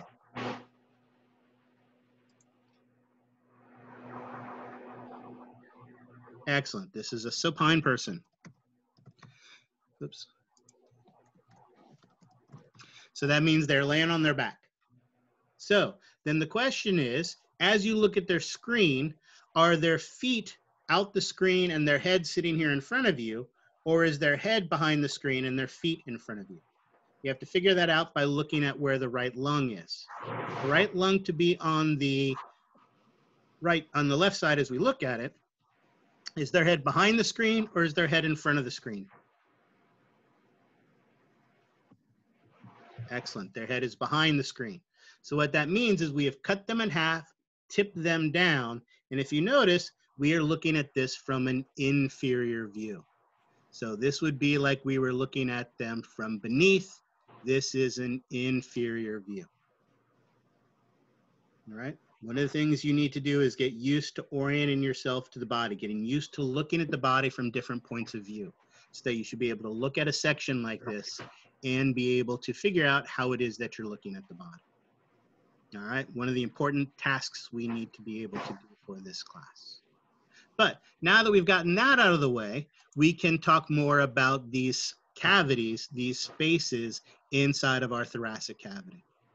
Notice first as we look at them, here we see a cavity, and here we see a cavity. Both of these are associated with the lungs. So as we talked about, these are pleural cavities. And notice they don't connect. You may not have thought of it in these terms, but I know you're probably aware of it. There you are Friday night at the bar, right? Back in the old days when we could go to bars, right? And getting into deep philosophical discussions at that bar as you normally do, like who is the cutest member of One Direction, right? And as you're having these discussions, they often get heated, right? Some people incorrectly think it's Harry, and that's clearly, clearly not the case right? And so instead, right, big rumbles come up and knives come out and you get a knife in the chest. And that lung collapses as the blood and air gets into that space. Do you necessarily die because of that? You can't inflate one lung? No, because the other is individually shrink wrapped and will stay uh, inflated uh, until the paramedics get there and take you away. So we have a right pleural cavity and a left pleural cavity. But notice we have this yellow region in between, and this yellow region in between is that mediastinum. This mediastinum in here is where things like the esophagus, things like the uh, uh, aorta is located, inferior, uh, sorry, superior vena cava, inferior vena cava, things like that are located in this space. But notice also in the mediastinum, there is a location where the heart sits. And notice the heart also has a cavity around it as well. That's why I kind of meant half. Because within this mediastinum, we have an even more specific space. And that more specific space is the pericardial cavity. Yes, Ryan, you had a question. Um, so the knee. what was the cavity for the heart again? The cavity for the heart is the pericardial cavity, and it is located within the mediastinum of the Right. Okay. Yeah. Sorry. Gosh. I'm tired. Um, so that's totally enclosed. Are the pleural cavities not totally enclosed? Like the They are part- totally enclosed as well, absolutely. It has an open part towards the mediastinum. Guess. But, True, but ac- well, what actually happens here, that's actually a great question. The, the anatomy of this is not quite specific. What actually happens is, uh, let me get a drawing tool. Um, this is where the blood vessels and the bronchi and Mm. nerves and things like that connect to the lung. Okay. Gotcha. So what happens is, uh, and this is one of the things we're going to be talking about next. If you notice, what we have here are some membranes that are wrapping around these organs. And again, the general term uh, for these membranes are serous membranes. Or again, serous is the adjective that describes it. So if we wanted to use the noun, serosa. And these serous membranes wrap around these organs. So if we look closely, what you'll see is there is a serous membrane that wraps around the heart and a serous membrane that forms a cavity, and that forms our pericardial cavity. Our lung has a serous membrane on its surface and one that forms a cavity. And then the space in between is the pleural cavity. Same thing is true on the right, and the same thing is true on the left. Notice the mediastinum doesn't have a serous membrane by itself. but it does contain the pericardial uh, serous membrane inside of it. All right. Uh, yes, there are two more questions. Or another, somebody else raised their hand? Yeah, I raised my hand. Yeah, Um, Nicole, yes. Could you explain um, why this view is, or why we know that this person is um, like supine, like on their back? Because anterior, because this says anterior here and that says posterior here. Yeah. As we get more comfortable with the body, we will learn that the vertebrae are on your back, right? Which again, Oh. if you if you think about it with a little kid, you can kind of. I mean, it doesn't have to be a little kid. Anybody, you can feel the bumps of their spine on the back, so we know the the vertebral column are there. The heart is towards the front. This is actually the sternum, although it's not labeled. But the fact that we have the anterior and posterior labeled there are the are the dead giveaway. Okay, yeah. Thanks. Yep. Great questions. Any others?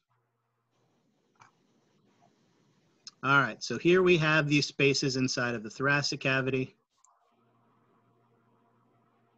And here we have, again, in a flow chart that kind of shows this organization as well.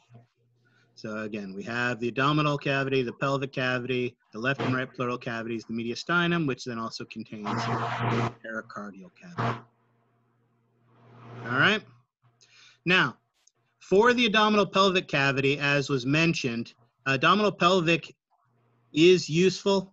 Abdominal and pelvic are useful, but there aren't anatomical uh, dividers.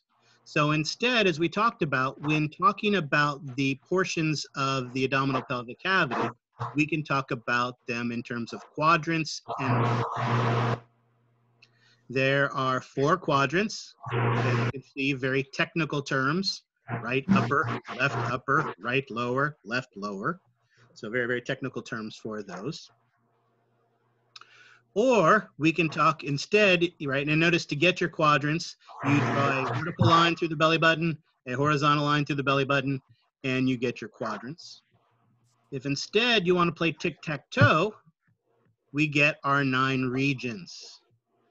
And these nine regions are a little bit more technical in their naming. But one of the nice things about this, and again, this is one of those things where your medical terminology class can be helpful, is often when you have these alphabet soup terms, the names tell you everything about it.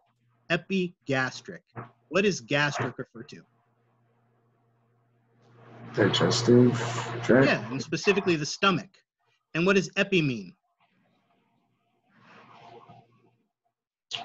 Anyone know what epi means? On top, above. There you go. Hypo means what? Mm. Under, lower. Below. So hypogastric, below the stomach, epigastric, above the stomach. Hmm. Umbilical refers to your umbilical region, your belly button, right? Hypochondriac. Now, normally when we think of the term hypochondriac, we think of that neighbor who's always thinks they're sick. But what does hypochondriac actually mean? We know hypo. Hypo means what? Below. Below. Any idea what chondriac refers to? Chondro? Chest, I guess. I don't know. Yeah, well, it, it refers to the cartilage of the ribs. Hmm. Chondro refers to the cartilage of the ribs. So hypochondriac little really means below the ribs, right? So again, the names often tell us what they are. All right. Now, again, that brings me to a couple of important points. First, as I mentioned, not only do you need to know these regions, but you also may, for instance, need to identify uh, the organs in a particular region. Like, give me an example of an organ you would find in the right hypochondriac region. Anybody know an organ we might find up here? Your largest visceral organ? Liver. Gallbladder. Liver. That'd be one of the places you would find the liver, absolutely. So I could ask you to identify that region. I could ask you to identify an organ or two organs or three organs that you would find in a region. All right. As I mentioned, the liver is our largest visceral organ. So another question I could ask you is to identify the quadrants that you would find the liver in. And what would your answer to that be? Right. Right right, right? Hypochondriac. What else? The right lumbar region right? Lumbar, Umbilical region. yeah, umbilical region, Epigastric. Hmm. epigastric region. Is that good? Yep. Yep. And that is 100% wrong. Because the question I actually asked was what quadrant did you find the liver in? Right? Right? Right. So again, notice perfect example of how you guys actually gave me the harder answer. Because what's the correct answer to the question? Upper right. Yeah, upper right. Yeah, maybe it sneaks over. Maybe it sneaks over into the upper left, right? It could actually sneak over into the upper left, right? But again, you guys showed good knowledge, you showed good information, but you didn't answer the question. I will say it again and again and again. People often lose points not because they don't know the information, but because they don't read the question carefully. Again, my goal is not to be tricky. My goal is to be precise. And I want you to be equally precise in your answers as well. Okay?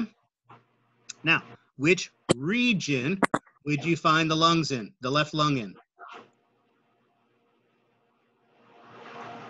Left hypochondriac region. Everybody agree with that? No. Now, in this case, I am being tricky because remember, what is the uh, up? What is the superior boundary? What is the ceiling of the abdominal pelvic region? The diaphragm. The diaphragm, and our lung is up here. So our lung isn't in any of these Uh, abdominal mm-hmm. regions because it's mm-hmm. not in the abdominal pelvic cavity. Now that one I was purposely being tricky on for that one. Okay, uh, that wouldn't be an essay question. I mean, that wouldn't be a question on the exam. But again, I want to emphasize that point. Remember, we have a superior boundary to the abdominal pelvic region, and that is that diaphragm. All right. Questions on that?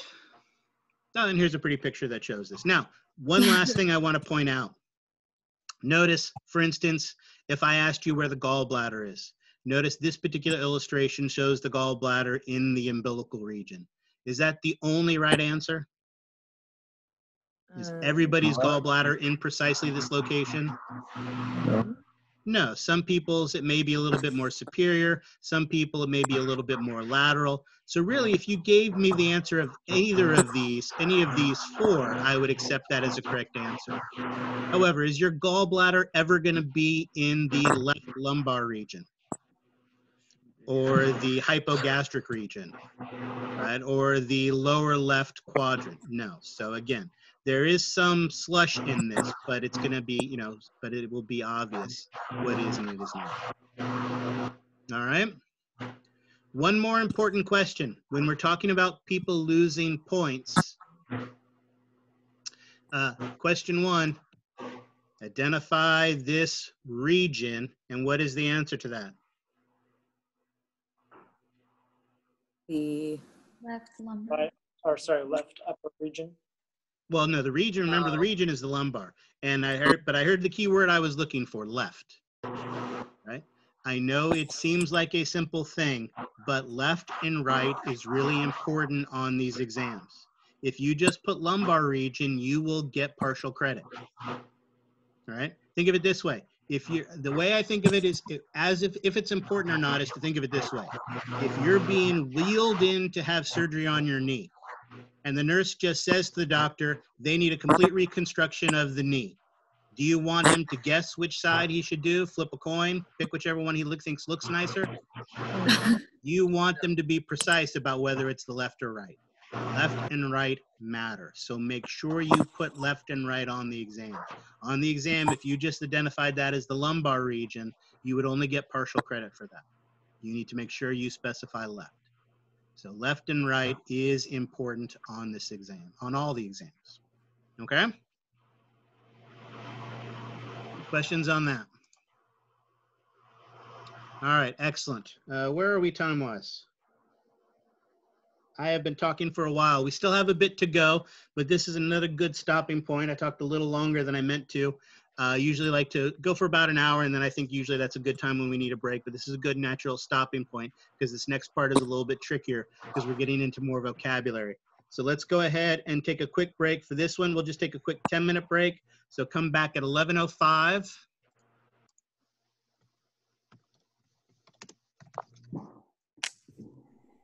And 11.05, we will pick up from there. Excellent. All right.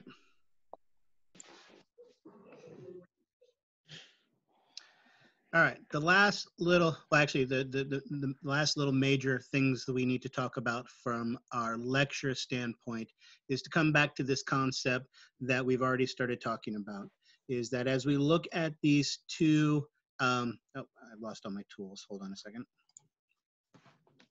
That one back.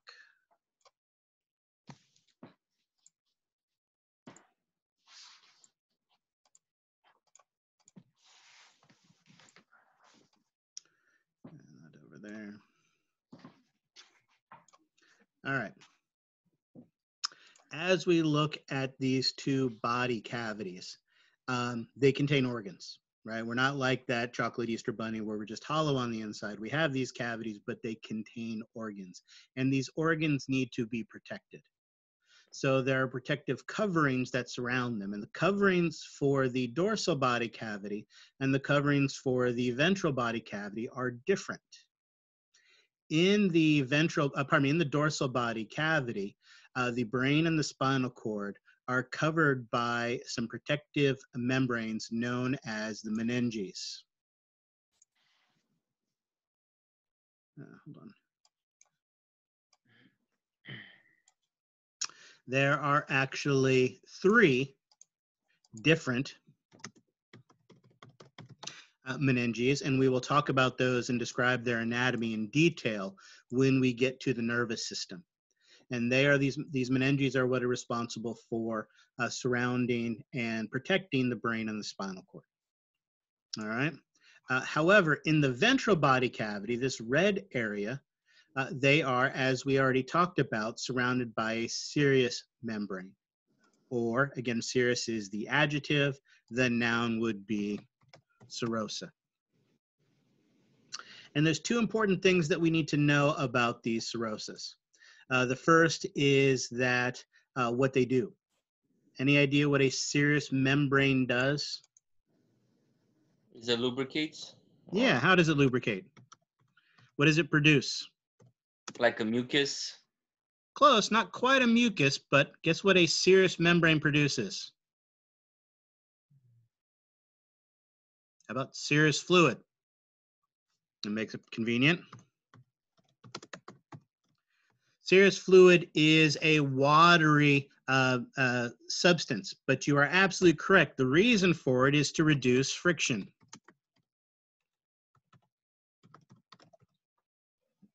Again, think of it this way. You put your hands together and you rub them.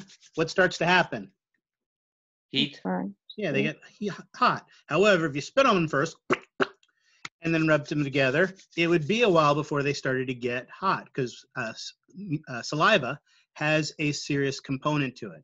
Now, saliva also has mucus in it as well, which, as an older sibling, you of course know when you kneel on your younger sibling's chest, you can dribble that little bit of spit out till it almost touches their nose and then suck it back up, right? Because it has that mucus quality to it, but it also has that watery component. And that watery component is that serous, which I spelled wrong, uh, that serous fluid. And its job is to reduce friction. And the way it reduces friction, as we saw with the hands, is by having two surfaces that rub against each other.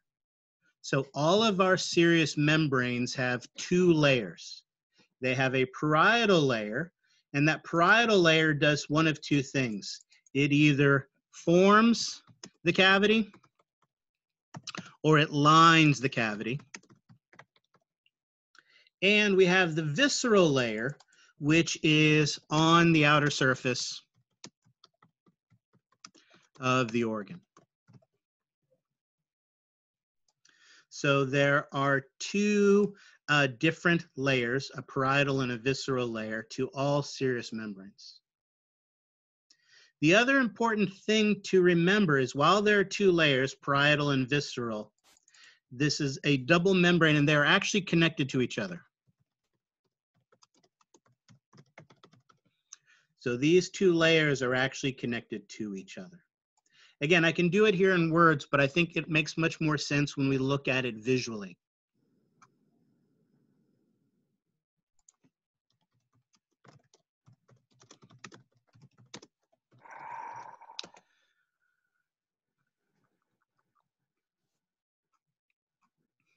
The example I always like to use in the classroom is the example that we have here on the right.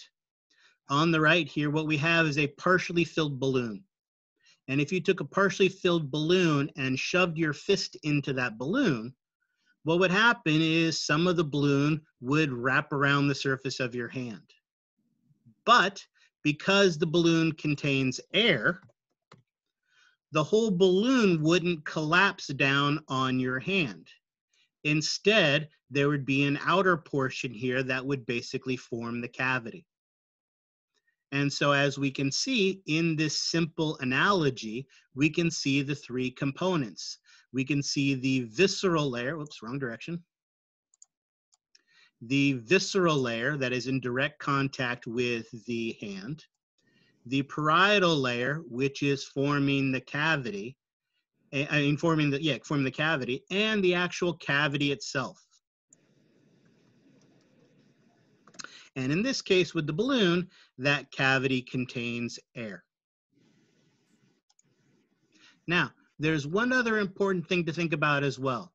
If we were to take a small piece of the balloon, like this piece right here, and cut it out and look at it under a microscope, and I were to take this piece right here and cut it out and look at it under the microscope, would they be the same or would they be different? What do you think? Is this part of the balloon the same as that part of the balloon, or do they think they're different somehow? different. Well, which one is it? Are they the same or different? Think about it. If I have that balloon, if, if instead I pushed my hand in from this side, this part of the balloon would wrap around my hand, and that part would form the cavity. So is there really a difference between these two parts? No. No. No. The only difference is their location. That is the only difference between those two pieces of the balloon. One part of that balloon is touching the hand and one part of the balloon is not. And that's the only difference. However, it's a really important difference. And so one of the things that we will see in this class is we are gonna name things based on their locations. All right? Here's a pencil. Is this the only one in the world? No, No. of course not. There are gajillions of them. However, this one happens to be in my cup. This one happens to have my teeth marks on it. And this one happens to be here at my house. So based on its location only, this is Daniel Slutsky's pencil. We can give it a name based on its location. One of you held up a pencil, that pencil would be the exact same. It would have whatever the fake lead is on the inside of these things now, and an eraser on the end, and the wood on it, and it would be all, all the things, all the properties of it would be the same. The only difference would be its location. And so when we talk about things, we give them names based on their location. And we've already talked about that. Notice right here, visceral is the name we give a serous membrane based on its location of being on the organ. And parietal is the name we give the serous membrane based on the fact that it lines or forms the cavity. So notice we've already started talking about and using terms to identify these things based on their location. The same way, this part of the balloon is exactly the same as that part of the balloon. It turns out this part of the serous membrane is exactly the same as this part of the serous membrane. The only difference is their location. And because this one's on the organ, we call it visceral. And this one's lining the cavity or forming the cavity, we call it parietal. But there's another location name here as well. That other location name is pericardium. when we talk about serous membranes, there are three main locations. Oops, if I spell locations right. Where we find them. So guess how many location names we have. Oh, that's supposed to be a three. There we go. Three main locations where we find serous membranes. So guess how many different locational names we have for serous membranes? Oh. Not your question. Three. Three, there you go. One location, as we see here, is on the heart. So on the heart, the serous membrane associated with the heart, we call a pericardium, based on its location. There's a serous membrane that wraps around the lung, based on what we saw as the cavity. Guess what? Oh, helps if I spell pericardium right. Anyone remember the term we used associated with the lung? Pleural. Pleural, excellent.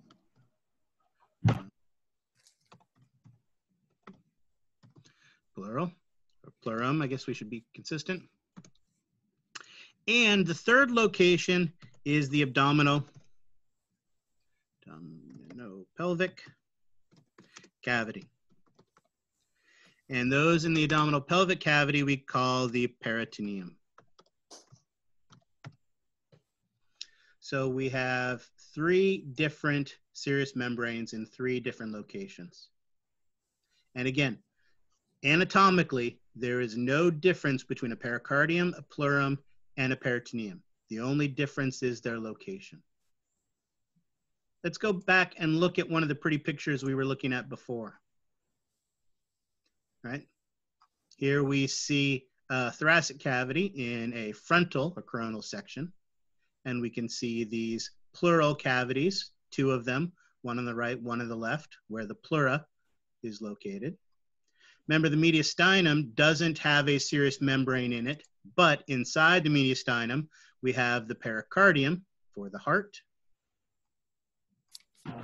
and then the abdominal pelvic cavity as well.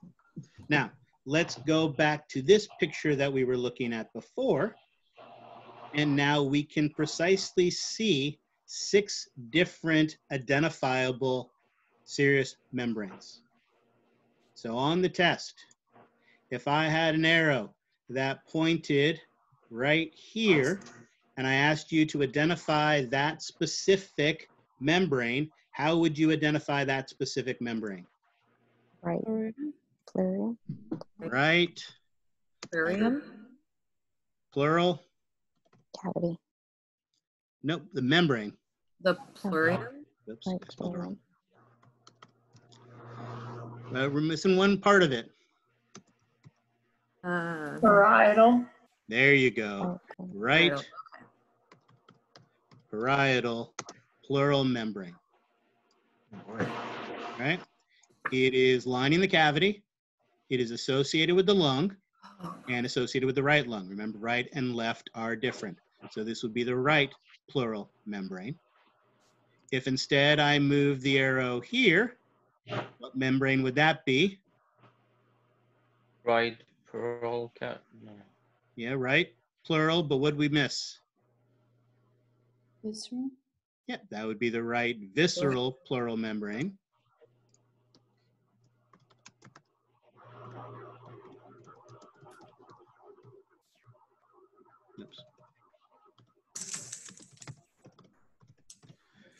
What if instead the arrow was here?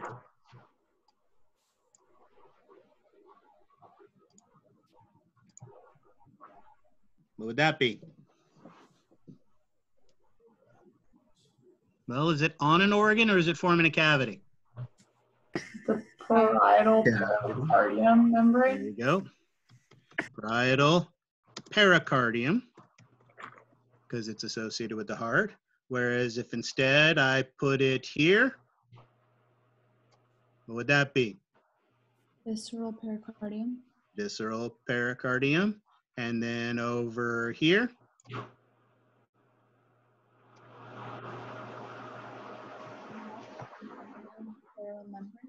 Left visceral pleural membrane. Bit left visceral pleura, and then right here, Right parietal. Pleural membrane. parietal pleural membrane. Excellent.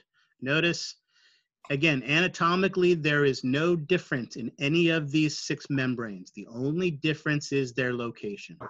Yeah, well, I, had a question about that. So they're they're made of all these boundaries for the cavities are made of the same tissues. Yep. We, Hmm. as we'll talk about next week, as it turns out, a serous membrane, like all membranes, is going to be made up of an epithelial tissue and a connective tissue. And you're going to actually have to know the names of them.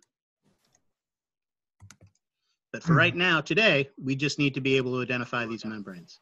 But yes, every single one of these six membranes are made with the exact same tissues and have the exact same organization. The only real difference is their location. Hmm. And uh, parietal is outside of the cavity or boundary, and then not outside. So so notice, think of it this way: parietal is not touching the organ, so that's the, the- one of the keys. Mhm. Another key is it either forms the cavity. Notice, like for instance, with the pericardial, it's actually forming the cavity, whereas for the pleural, it is lining the cavity. Notice it's the ribs and the thoracic cavity that makes uh, the ribs and the muscles that make the cavity. So it's lining the cavity. So yes, so parietal either forms the cavity or lines the cavity. And as you guys mentioned, all of these are going to produce hmm. serous fluid. Now, is our goal going to be to fill this space with serous fluid, as much serous fluid as we possibly can get in there? No. No, it's just going to have a thin, slippery coat to it so that those two surfaces glide across each other. So we just need a thin surface of serous fluid that is going to allow those organs to move and glide and reduce their friction. Now, remember, this is just in the thoracic cavity. So remember, also in the abdominal pelvic cavity, all the organs in the abdominal pelvic cavity, uh, the stomach, the liver, the small intestine, the large intestine, are all surrounded by a serous membrane called the uh, peritoneum. And the one on the surface of the stomach would be visceral, and the one lining the cavity would be parietal. Okay? Questions on those? So know your membranes. And again, the key word, the key way to distinguish these, and again, those magic words that I will use on the exam so that you know to be precise, it's based on location, right? We are giving these things names based on their location. And this is just going to be the first of many times that we give things names based on their location. All righty. Now, this helps to separate the organs and helps to hold the structures in place. But it is equally important to keep water where we want it to be. Right? Us here in Sacramento probably know this better than most, although it's been a while and fewer and fewer people remember it. But uh, we are big, huge bags of water. About 60% of your body weight is water. And where that water goes is super important. If, let's say, not so hypothetically, you were to drink a massive amount of water in a very short period of time to, I don't know, let's say, win a now completely outdated video game system, could that large ingestion of water disrupt the movement of water in the body and where that body's located, leading to cellular damage, leading to organ failure, leading to death? Yes. Yeah, absolutely, right? Not Would you wee for a wee? right? That happened here in Sacramento many years ago, right? And so being able to maintain water where it needs to be and having it flowing in the right place is vitally important. So again, we have about 40 liters of water. It makes up about 60% of our body weight. Notice uh, two thirds of that is uh, intracellular, right? That means that it is inside of the cells. Oops. And uh, about a third of it uh, making up about 20% of your body weight, is outside of the cells. And that basically occurs in two places. The interstitial fluid is uh, surrounds the cell, so it's outside cell, but in the tissues. This is where we exchange resources with the cells, and the cells get rid of their waste and get their nutrients and things like that. And then, of course, 20% of it of that is in our blood plasma, right? So this is basically in our blood, and it's used for transportation. And then obviously moving these things back and forth between these two allow us to control what's going on in the cell. So the other thing we have to not worry about just the structures, we also have to talk about uh, body weight and body water and where that water is moving and how that water is moving. One of the things you got to remember is water is where all the chemical reactions in the body take place. In an anatomy and physiology class, one of the things we very rarely say is always or never. Because one of the things we'll learn is there's going to be exceptions up the wazoo. But so far, every single chemical reaction that has ever been discovered and described in the body takes place in water. So having that water inside the cell and outside the cell and controlling its movement in and outside of the cell, as we're going to learn, is going to be vitally important for maintaining uh, homeostasis and our well-being. All right. Questions on that? All right, excellent. That is actually what I wanted to do for our quote unquote lecture part of class. Uh, so again, whoops, well, no, what did I just do? Sorry. Um, we talked about that, we did that, excellent for our quote unquote lab, and there's not going to be a tremendous amount of it today, uh, but what I want to do is I want to do a quick review. One of the things we talked about when we were talking about our hierarchies is our 11 organ systems, and I did see some of you guys counting them out. So what I would like to do as a group now is to think about and identify all 11 of our organ systems. Once we do that, uh, we need to know uh, general functions of these systems, and we need to know at least a couple of the uh, uh, specific organs. One of the important things to remember is the goal isn't to master this material, right? When you get to the digestive system, for instance, you will learn that the large intestine has six different regions to it. And you'll need to know things like the cecum and the ascending colon and the sigmoid colon and things along those lines. We don't have to be there yet. But at this class, at this level, do we need to know what the large intestine is and which organ system it is a part of? Absolutely. So let's go ahead and do that. Let's uh, go ahead and cheat. And, oops, no, that didn't work. Wipe that out. So what I need you guys to do for me now is to give me one of the names of one of our 11 organ systems found in the body. Circulatory. Circulatory. Right, circulatory, all right? I heard circulatory. What else? Respiratory. Respiratory. I heard respiratory. Hold on, someone's uh, chatting. What was that one? Oops, where's my chat window? Oh, I made it big. Uh, reproductive. Excellent. Digestive. Reproductive. Digestive. Nervous system. And nervous. Endocrine. Endocrine. Skeletal. Skeletal, uh, muscular, Lymphatic. integumentary. I heard, oops, I spelled that horribly. You get the idea. Urinary. Uh, I heard, uh, there you go. I heard the other two, lymphatic. And then I think someone just said urinary. Excellent. I think that's everything. One, two, three, four, five, six, seven, eight, nine, 10, 11. Perfect. Excellent. There you go. Those are 11 organ systems. Excellent. So we have identified them. Uh, that is a good starting point. Let's talk about functions then. Uh, let's talk about functions of the cardiovascular system. Let's start there. What's the function of the cardiovascular system? To transport oxygen throughout the body to the muscles. Excellent. Transportation is a perfect answer. Uh, oxygen is definitely one of the things, but is that the only thing that needs to be transported by the circulatory system? Also the waste. Yeah, carbon dioxide, other wastes. What else? or uh, nutrients throughout the body. Nutrients. There you go. What else? I can think of at least three more good things. Um, Water. Water. Uh-huh. There you go. Remember we mm. talked about the importance of water. Water is definitely an excellent one. What else? Oxygen.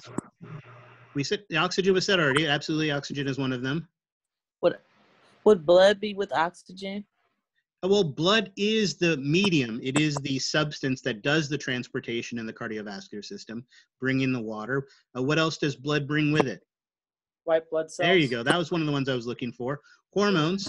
Hormones is definitely one of them. The chemical signals of your body, medications and things like that that you take get transported that way. Uh, what else? There's one more big one that you guys aren't thinking about. Metabolic waste. True, metabolic waste, uh, sugars, and other nutrients are definitely things. uh, some of those have been mentioned. But all right, think of it this way. Let's say, theoretically, uh, that you have to give a presentation.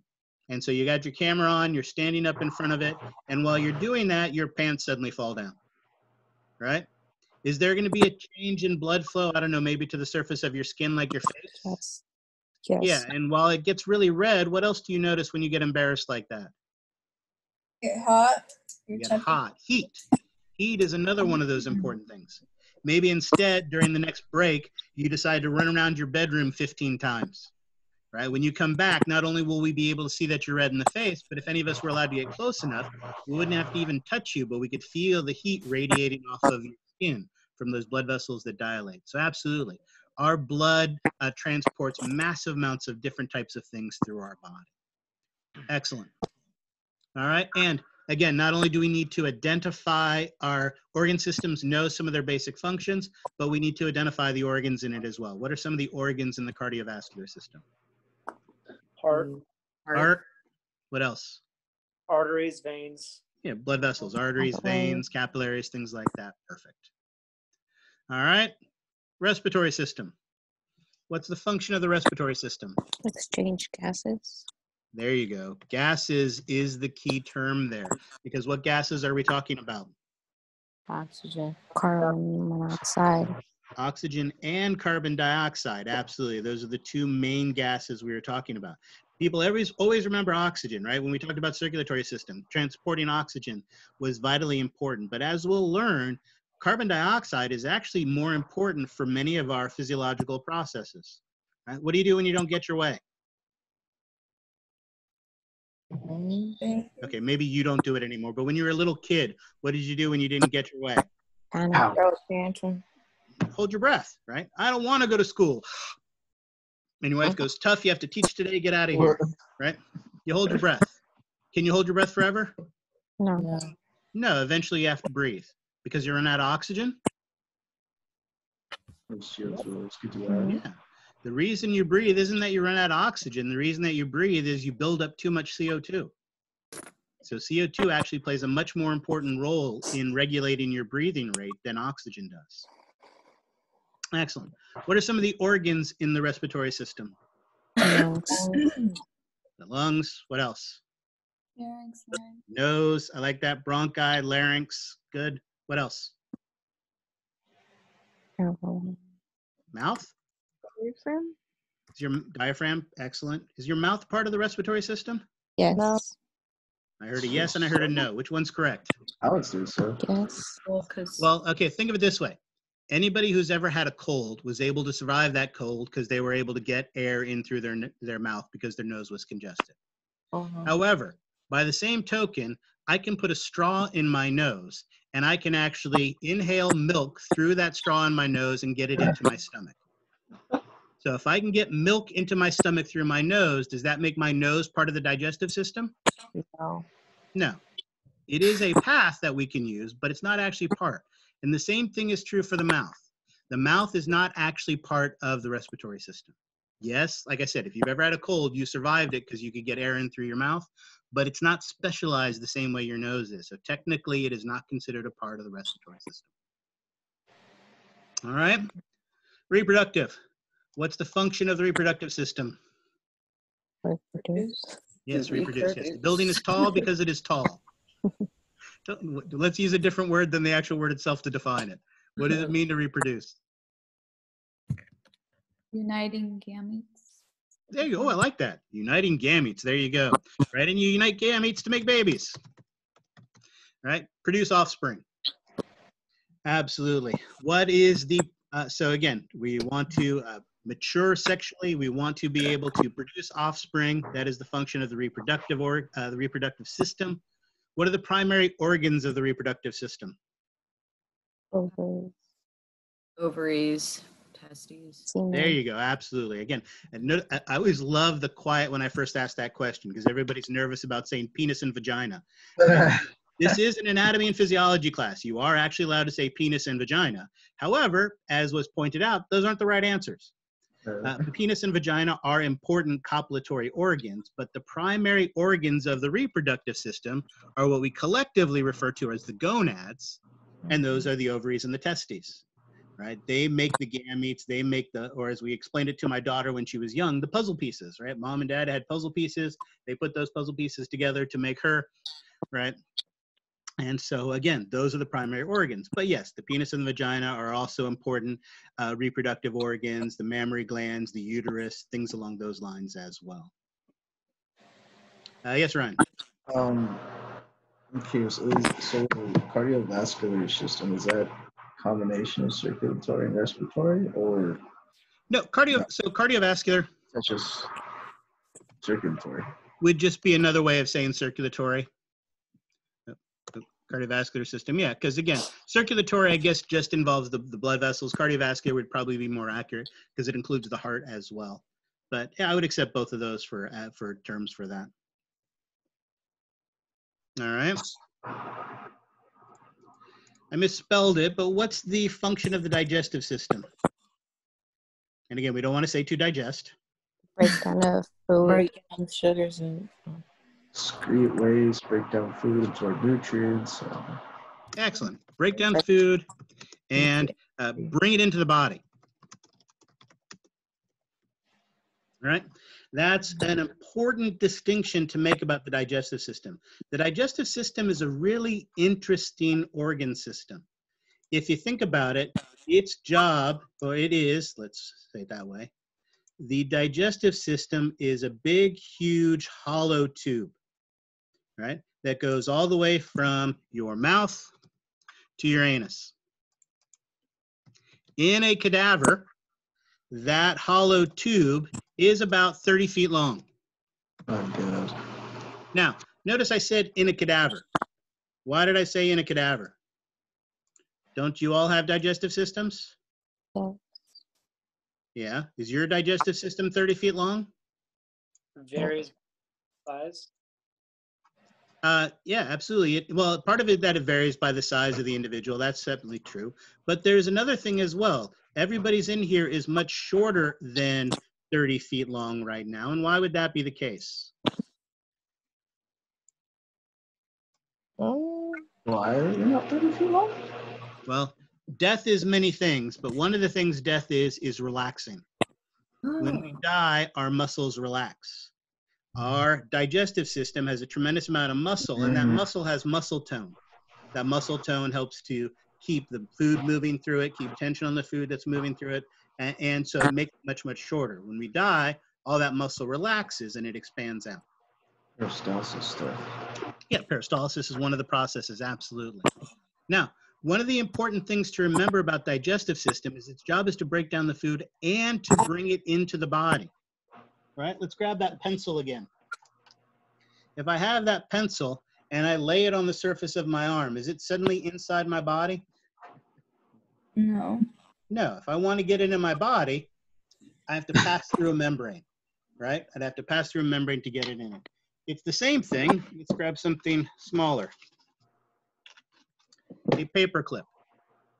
If I take this paper clip, I put it in my hand and I wrap my hand around it. Is that paperclip inside of my body? No. No. It may be surrounded by my body, but it's not inside the body. If I hold it in my mouth, is it inside the body? Yes. No. Again, Oh. it's surrounded by my body, but it's not Oh. inside my body. And what if I swallowed it? And again, you shouldn't Yeah. swallow paper clips, but let's think of it this way. Little kids swallow pennies all the time. That penny enters into their mouth, and when it enters into their mouth and they swallow it, is it inside the body? No. It's not. As it turns out, the lumen, and lumen is the fancy name for the space inside of a hollow organ. The lumen of our digestive system is actually outside the body. They have a fancy name for this. The fancy name for this is they say it is the topological exterior. So if you think about it, that penny that that little kid swallows enters in, and what happens to that penny? Passes through. It passes right on through, comes out a couple days later, a little dirtier or a little cleaner, depending on how you think of it. And at that point, it's never entered the body. It's passed through the body, but it hasn't entered into the body. Instead, let's talk about that cheeseburger you had for breakfast. There's the bottom bun. Cheeseburger for breakfast. Yeah, cheeseburger is the best thing to have for breakfast. There's the patty. Uh, I'm gonna have to cheat and draw the bun top. There you go. Put some sesame seeds on there. Yeah, that cheeseburger for breakfast. Your digestive system breaks that down, and once it breaks it down, it then moves those nutrients across the membrane and brings it into our body. Right? Your body had no use of currency. There are no penny receptors inside your body. So that penny entered and left without actually entering the body. To get into the body, the same way I have to stab myself with that pencil to get inside my body, our nutrients, once broken down, have to pass a membrane. So one of the unique things about our digestive system is if you think of all of our glands, like our salivary glands or our stomach glands, they are all secreting stuff outside of the body into the lumen of our digestive system to break down that food so we can bring it inside. That's key. Not only are we breaking down food, but we're breaking down that food so we can bring it inside our mem- our body. We can cross a membrane, and that's really the key. Do you We have to cross that membrane to get into the body. that uh, the digestive system could take like trace amounts of the metal from the penny out and put it in the body? The body uses metals, right? Uh, yeah, as it, it can be a micronutrient. I mean, I'm not suggesting you swallow a penny as a way of getting the you know the micronutrients that are necessary, uh, like curious. iron and things like that. But is it possible that uh, that yeah, some of it could could come off of that, or some of the dirt off of it can come off of it, or things like that? Sure, the acid could potentially in your stomach could potentially etch it, or something along those lines. So it'd be possible. Copper in your system. Yeah, possibly. Again, for it enough to be damaging, you'd probably have to eat a whole lot of pennies, and that leads to a whole other problem in and of itself. So there are probably better ways to get that. All righty. So, and then of course, organs in the digestive system, as we talked about, again, not the nose, but mouth, all the things that make up that hollow tube, stomach, small intestine, large intestine, so on and so forth. Esophagus. Esophagus, perfect, excellent. All right. Questions on that one? All right, let's talk about nervous system. What is the function of our nervous system? Support signals. Excellent. Signals to do what? Everything. To keep us alive from getting hurt. True, absolutely. I like that. And so all of those things are absolutely true. So let's condense that down to a simple term. Our nervous system is specialized for communication. All right. And again, how does it communicate? Anybody know the fancy term? Electrical signal propagation. Absolutely. It is an electrical signal. It uses an electrical signal to communicate. Anybody know the fancy name for that electrical signal? A neuron. Neuron. Neuron's what makes it, but what it makes is called an action potential. It's okay if you don't know that. Ah, yeah, that's right.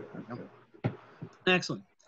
Electrical signals. These are fast, rapid uh, signals that communicate and allow us to respond to our environment. Like you guys said, helped us to maintain our body temperature. If we touch something hot, we're able to pull away from it. It allows for rapid, quick communication. All right. What are some of the organs of the nervous system? Brain's the big one. What else? Spinal cord, nerves, things along those lines, ganglion. Absolutely. There's another organ system on here that's specialized for communication as well. What is that one? Endocrine. Endocrine. Excellent. The endocrine is also specialized for communication. More chemical communication. There you go. But it uses a chemical signal, and that chemical signal has a special name as well. What's the special name for the chemical signal that our endocrine system uses? Hormones.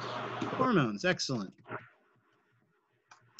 Hormones are a much slower, longer lasting chemical signal, right? Think about it. If I put my hand on something hot, you wouldn't want my hand to have to produce a chemical signal, release that chemical signal into the blood, got circulated to the blood till it finally got to my brain, where my brain received that signal. Then my brain was able to make its own chemical signal, release it into the blood, let it go through our circulation to go back to my hand to tell my hand to move away. By the time all that happened, my hand would be burned off. So having that electrical signal of the nervous system have me pull my hand away is much, much faster. However, these chemical signals are much longer lasting. So they allow us to coordinate activity for a much longer period of time, right? As you sit here in the classroom right now, quietly sitting in your room, or like as you're going to be doing, it's three in the morning and you're studying for this class before an exam and everything's quiet and suddenly bang, there's a loud noise outside, right? You hear a car backfire. That's going to scare the bejesus out of you, and you are going to jump as a response to it. But then, boom, you realize that it is just a car backfiring. You know you're safe, everything is okay, but does your heart rate instantly go back to normal again? No. No, because what happens is uh, part of that neural response is the release of adrenaline, that chemical signal that keeps you in that elevated state for a prolonged period of time. So again, so both of these are specialized for communication, but they communicate at a very different pace and in a very different level. Now, give me some examples of some endocrine glands. Because that's the other thing. These things that produce hormones are all glands. I'm sorry, say it again. Thyroid. Th- The thyroid gland, absolutely. Thyroid, uh, th- the thyroid gland. What else? The adrenaline gland? gland? Yeah, adrenal gland, absolutely. We just talked about that. Or suprarenal, it sits on top of the kidneys. Give me one more. Gallbladder isn't one, right? No, it's no, gallbladder is part of the digestive system. What's the big one? What what what gland makes the most hormones? Anybody know? Testosterone and estrogen. Great, great example. Gonads. The gonads are uh, also endocrine glands. Many of these organs are found in multiple systems. So the, the gonads are part of the reproductive system and also part of the endocrine system. Although that wasn't actually the one I was thinking of. What's the other one that produces actually what? Anyone know the gland that produces the most? Hypothalamus? Yes. Close, not the hypothalamus, but the pituitary gland. Pituitary. There you go. Oh, what? Excellent. That's fine. Hmm. Excellent, excellent. In fact, the, pitu- the pituitary gland is known as the master endocrine gland because it produces, not only does it produce over a dozen hormones, but many of its hormones are things like thyroid stimulating hormone. Guess what thyroid stimulating hormone does? Stimulates the thyroid. Stimulates the thyroid. There you go, exactly. So the pituitary gland, many of the pituitary gland's hormones stimulate other organs. All right? Excellent. What is the function of the skeletal system? Structural integrity. Excellent. I like that. Structure and integrity. I like. Oops. Why is that not typing? Structure. Absolutely. Except if I spell it right, but you get the idea. What else? Support. I like support. One other. What's the big three? Structure, support, and Like protection. protection. Excellent, right? Your skull bones we talked about plays an important role in protecting your brain. However, how many bones do I have in my hand? Exactly, a lot, absolutely. Now eventually we'll have to count them, but a lot works for now. Are any of them providing protection? No. Uh, no. But but they're giving structure and they're allowing movement, right? That's the other thing. These are the level, the, le- the levers that allow that movement to occur. So provide structure. I've made a mess of the board here, so I'll show it to you guys in a little bit later. Uh, but when we talk about the importance of the skeletal system, we'll save that for the end. Of course, if this is an organ system, there must be organs. Are there organs in the skeletal system? Yes. uh, bone- Bones, absolutely. And how many bones do we have? 200 Two oh and- six, two oh seven? Well, we'll go with that for now. 206 named bones. We will qualify it that way. Uh, as we'll learn, you actually have far more than that, but 206 named bones. And guess how many of those you're going to have to learn? All, All 206, absolutely. Excellent. All right. Now, as I said, part of that allowing the movement goes right with our muscular system. The muscular system is what is responsible for movement, both internal and external. Right? If I stand here and I put my arms out and I hold my breath, right? There may not be any external movement going on, but there's plenty of internal movement. My heart is beating. My uh, digestive system is breaking down that cheeseburger I had for breakfast. All that other internal movement is going on. So we have all that muscular uh, uh, system that does all of that, that muscular tissue that does all of that. And of course, with our muscular system, we have muscles. How many named muscles do we have? Anyone know?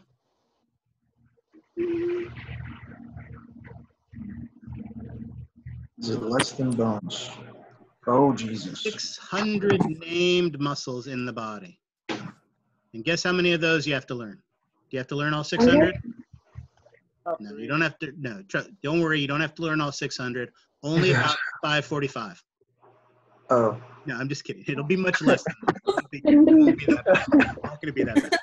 I was Far, far less. You will only have to learn a small fraction of those. All right. What is the function of the integumentary system, aside being spelled properly? Protection. Regulate body temperature. Excellent. So it plays a role in rep- t- body temperature, plays a role in that. What else? This is skin, right? Yeah. Oh, there's the magic word I was looking for. Protection. Yeah, integumentary system is a fancy word for skin. Absolutely. It provides body temperature, it provides us some other things, but one of the big things it does is it provides protection. Right? Help to limit our world and separate our world from the outside world, providing some protection. Uh, protection from UV radiation, protection from chemical and physical uh, abuse, uh, uh, protection from water loss and water gain. Absolutely, a lot of things. And of course, what is the main organ of the integumentary system? Skin. Skin, there you go, exactly. And then, of course, the nails and the glands and the hairs and things along those lines as well.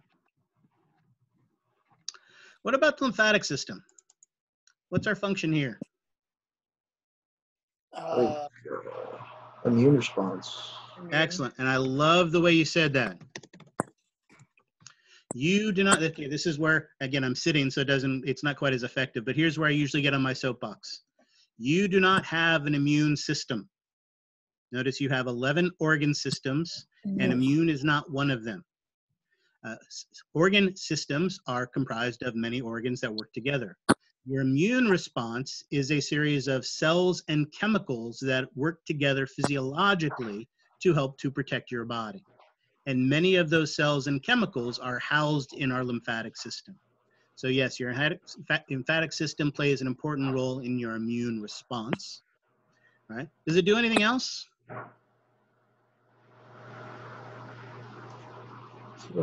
Uh, Filter?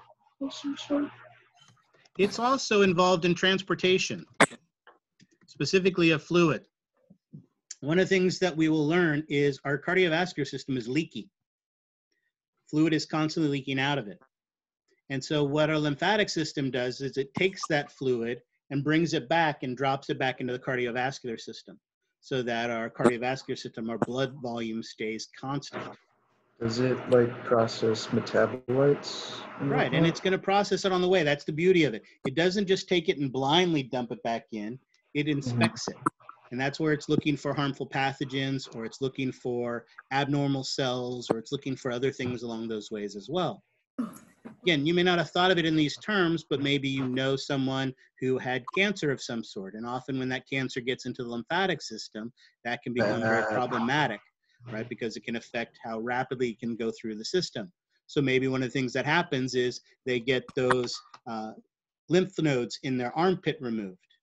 And then one of the problems they have for a few months is that their hand swells, right? It makes it harder to get that ring off when you get to the bar on Friday night and things along those lines, right? So it plays that important role in transportation of fluid and also your immune response. And what are the main organs of the lymphatic system? You have lymphatic vessels, and what's the other thing? Lymph nodes. Lymph nodes. There you go. Absolutely. Anything else?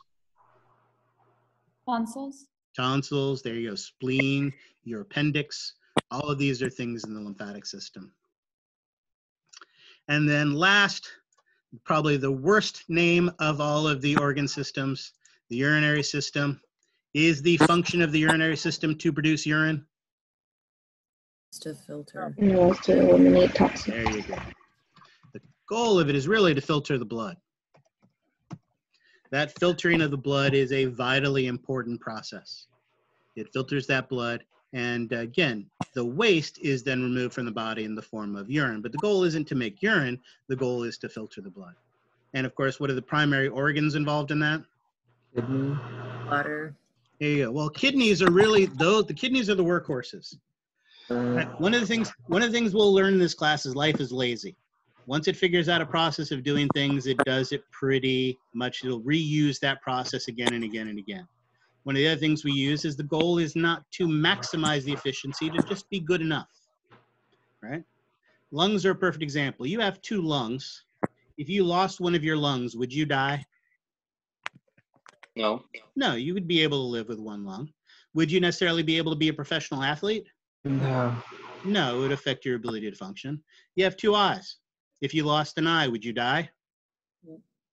No.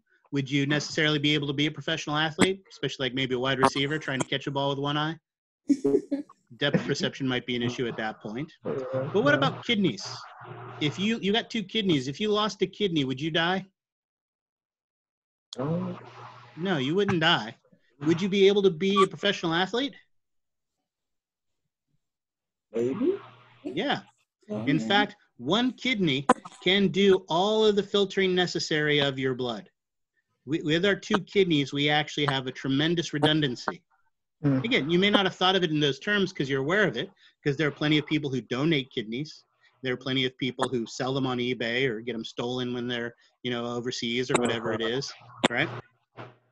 And with one kidney, you could be a professional athlete. You might not necessarily want to be one, because if you injured that second one, what happens then? If you have no kidneys. Yeah, well, but even dialysis, is that really a long-term solution? No. No, it is a short-term stopgap. If you don't have kidneys, you are not going to survive for very long. So that filtering of the blood is vitally important. While you're sitting here calmly in your chair, 25% of your blood is passing through your kidneys every minute. Twenty-five percent. Yeah, a large amount, absolutely. No, 25%, 25. Wow. In fact, you're constantly filtering your blood. You're producing 200 liters of filtrate during the course of the day. Do you produce 200 liters of urine? No. No, we'd all be sitting in the bathroom if that was the case right now. Absolutely, right? But uh, so most of that filtrate is reabsorbed, and we only produce about one to two liters of urine. And it's all done by the kidneys. The ureter, the bladder, the urethra, they're really just about storing that urine till you get to a socially appropriate location where you can then void it. All right. Questions on that? So there you go. We've identified all 11 organ systems, their main functions. We've identified some of the organs of that. Your book's got a nice table uh, that we will talk about. I promised you a fun picture. Back in ancient times, and by ancient times, I mean the 80s, uh, there was a comic book artist by the name of, or a comic book series, I should say, by the name of The Far Side. And this is my favorite Far Side uh, commercial. It is a boneless chicken ranch. Right, as you can see again, without those skeletal systems, there is no structure, there is no support for the chickens. So they are just draped over the things along those lines as well. All right. As I mentioned, your book's got a nice figure that talks about all the organs and organ systems. Like I said, you're not responsible for the parts. You don't need to know all the parts of the large intestine. You don't need to know all the parts of the small intestine. You just need to know large intestine and small intestine. You need to know your 11 organ systems. You need to know the organs and in general where they're located in the body uh, and um, uh, know their general functions.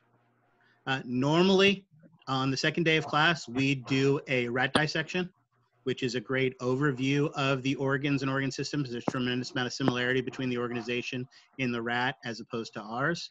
Obviously, that isn't something we are capable of doing, but if you look at your PAL CD, on your PAL, uh, not CD, but that PAL program that is in the person, you know, that uh, that uh, professional anatomy lab that is in your modified mastering A and P, there is a uh, cat dissection that you can look at. So it's a great way of getting an organ system overview in the cat, and also they've got the human cadaver as well. So I encourage you to look at those and familiarize yourself with where these things are in the body.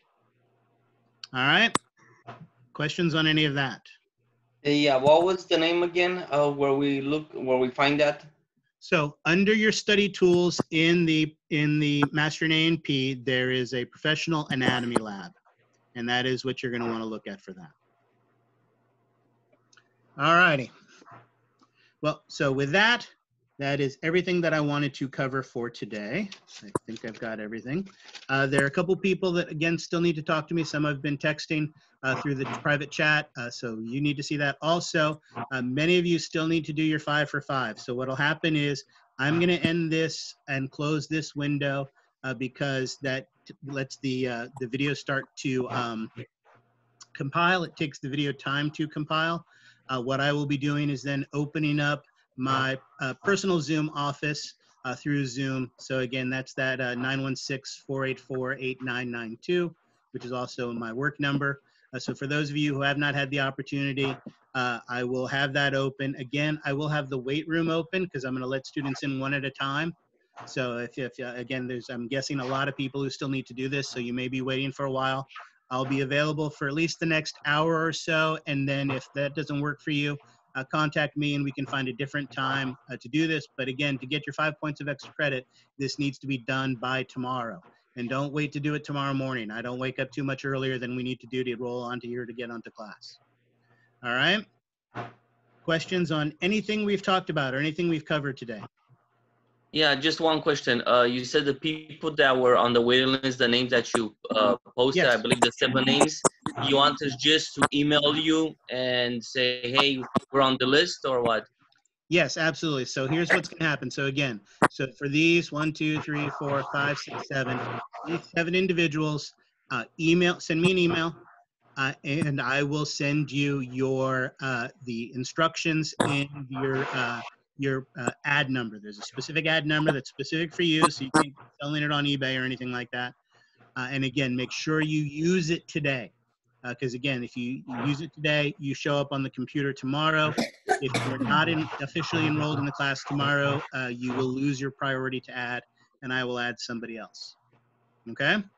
And then also remember when you sign up, make sure you pay as well. I don't remember what it is. You got 48 hours or 72 hours or whatever it is. If you get dropped for non-payment, you lose your priority as well. So make sure you pay for that as well. All right? Excellent. So again, if you're one of these people, you need to talk to me, come to my office hours. If you're one of these people, send me an email. You don't have to come and talk to me. Send me an email and I will send you the add slip. Of course, if you have questions and haven't done your five for five, then you can come and do that as well. All right. Any other questions?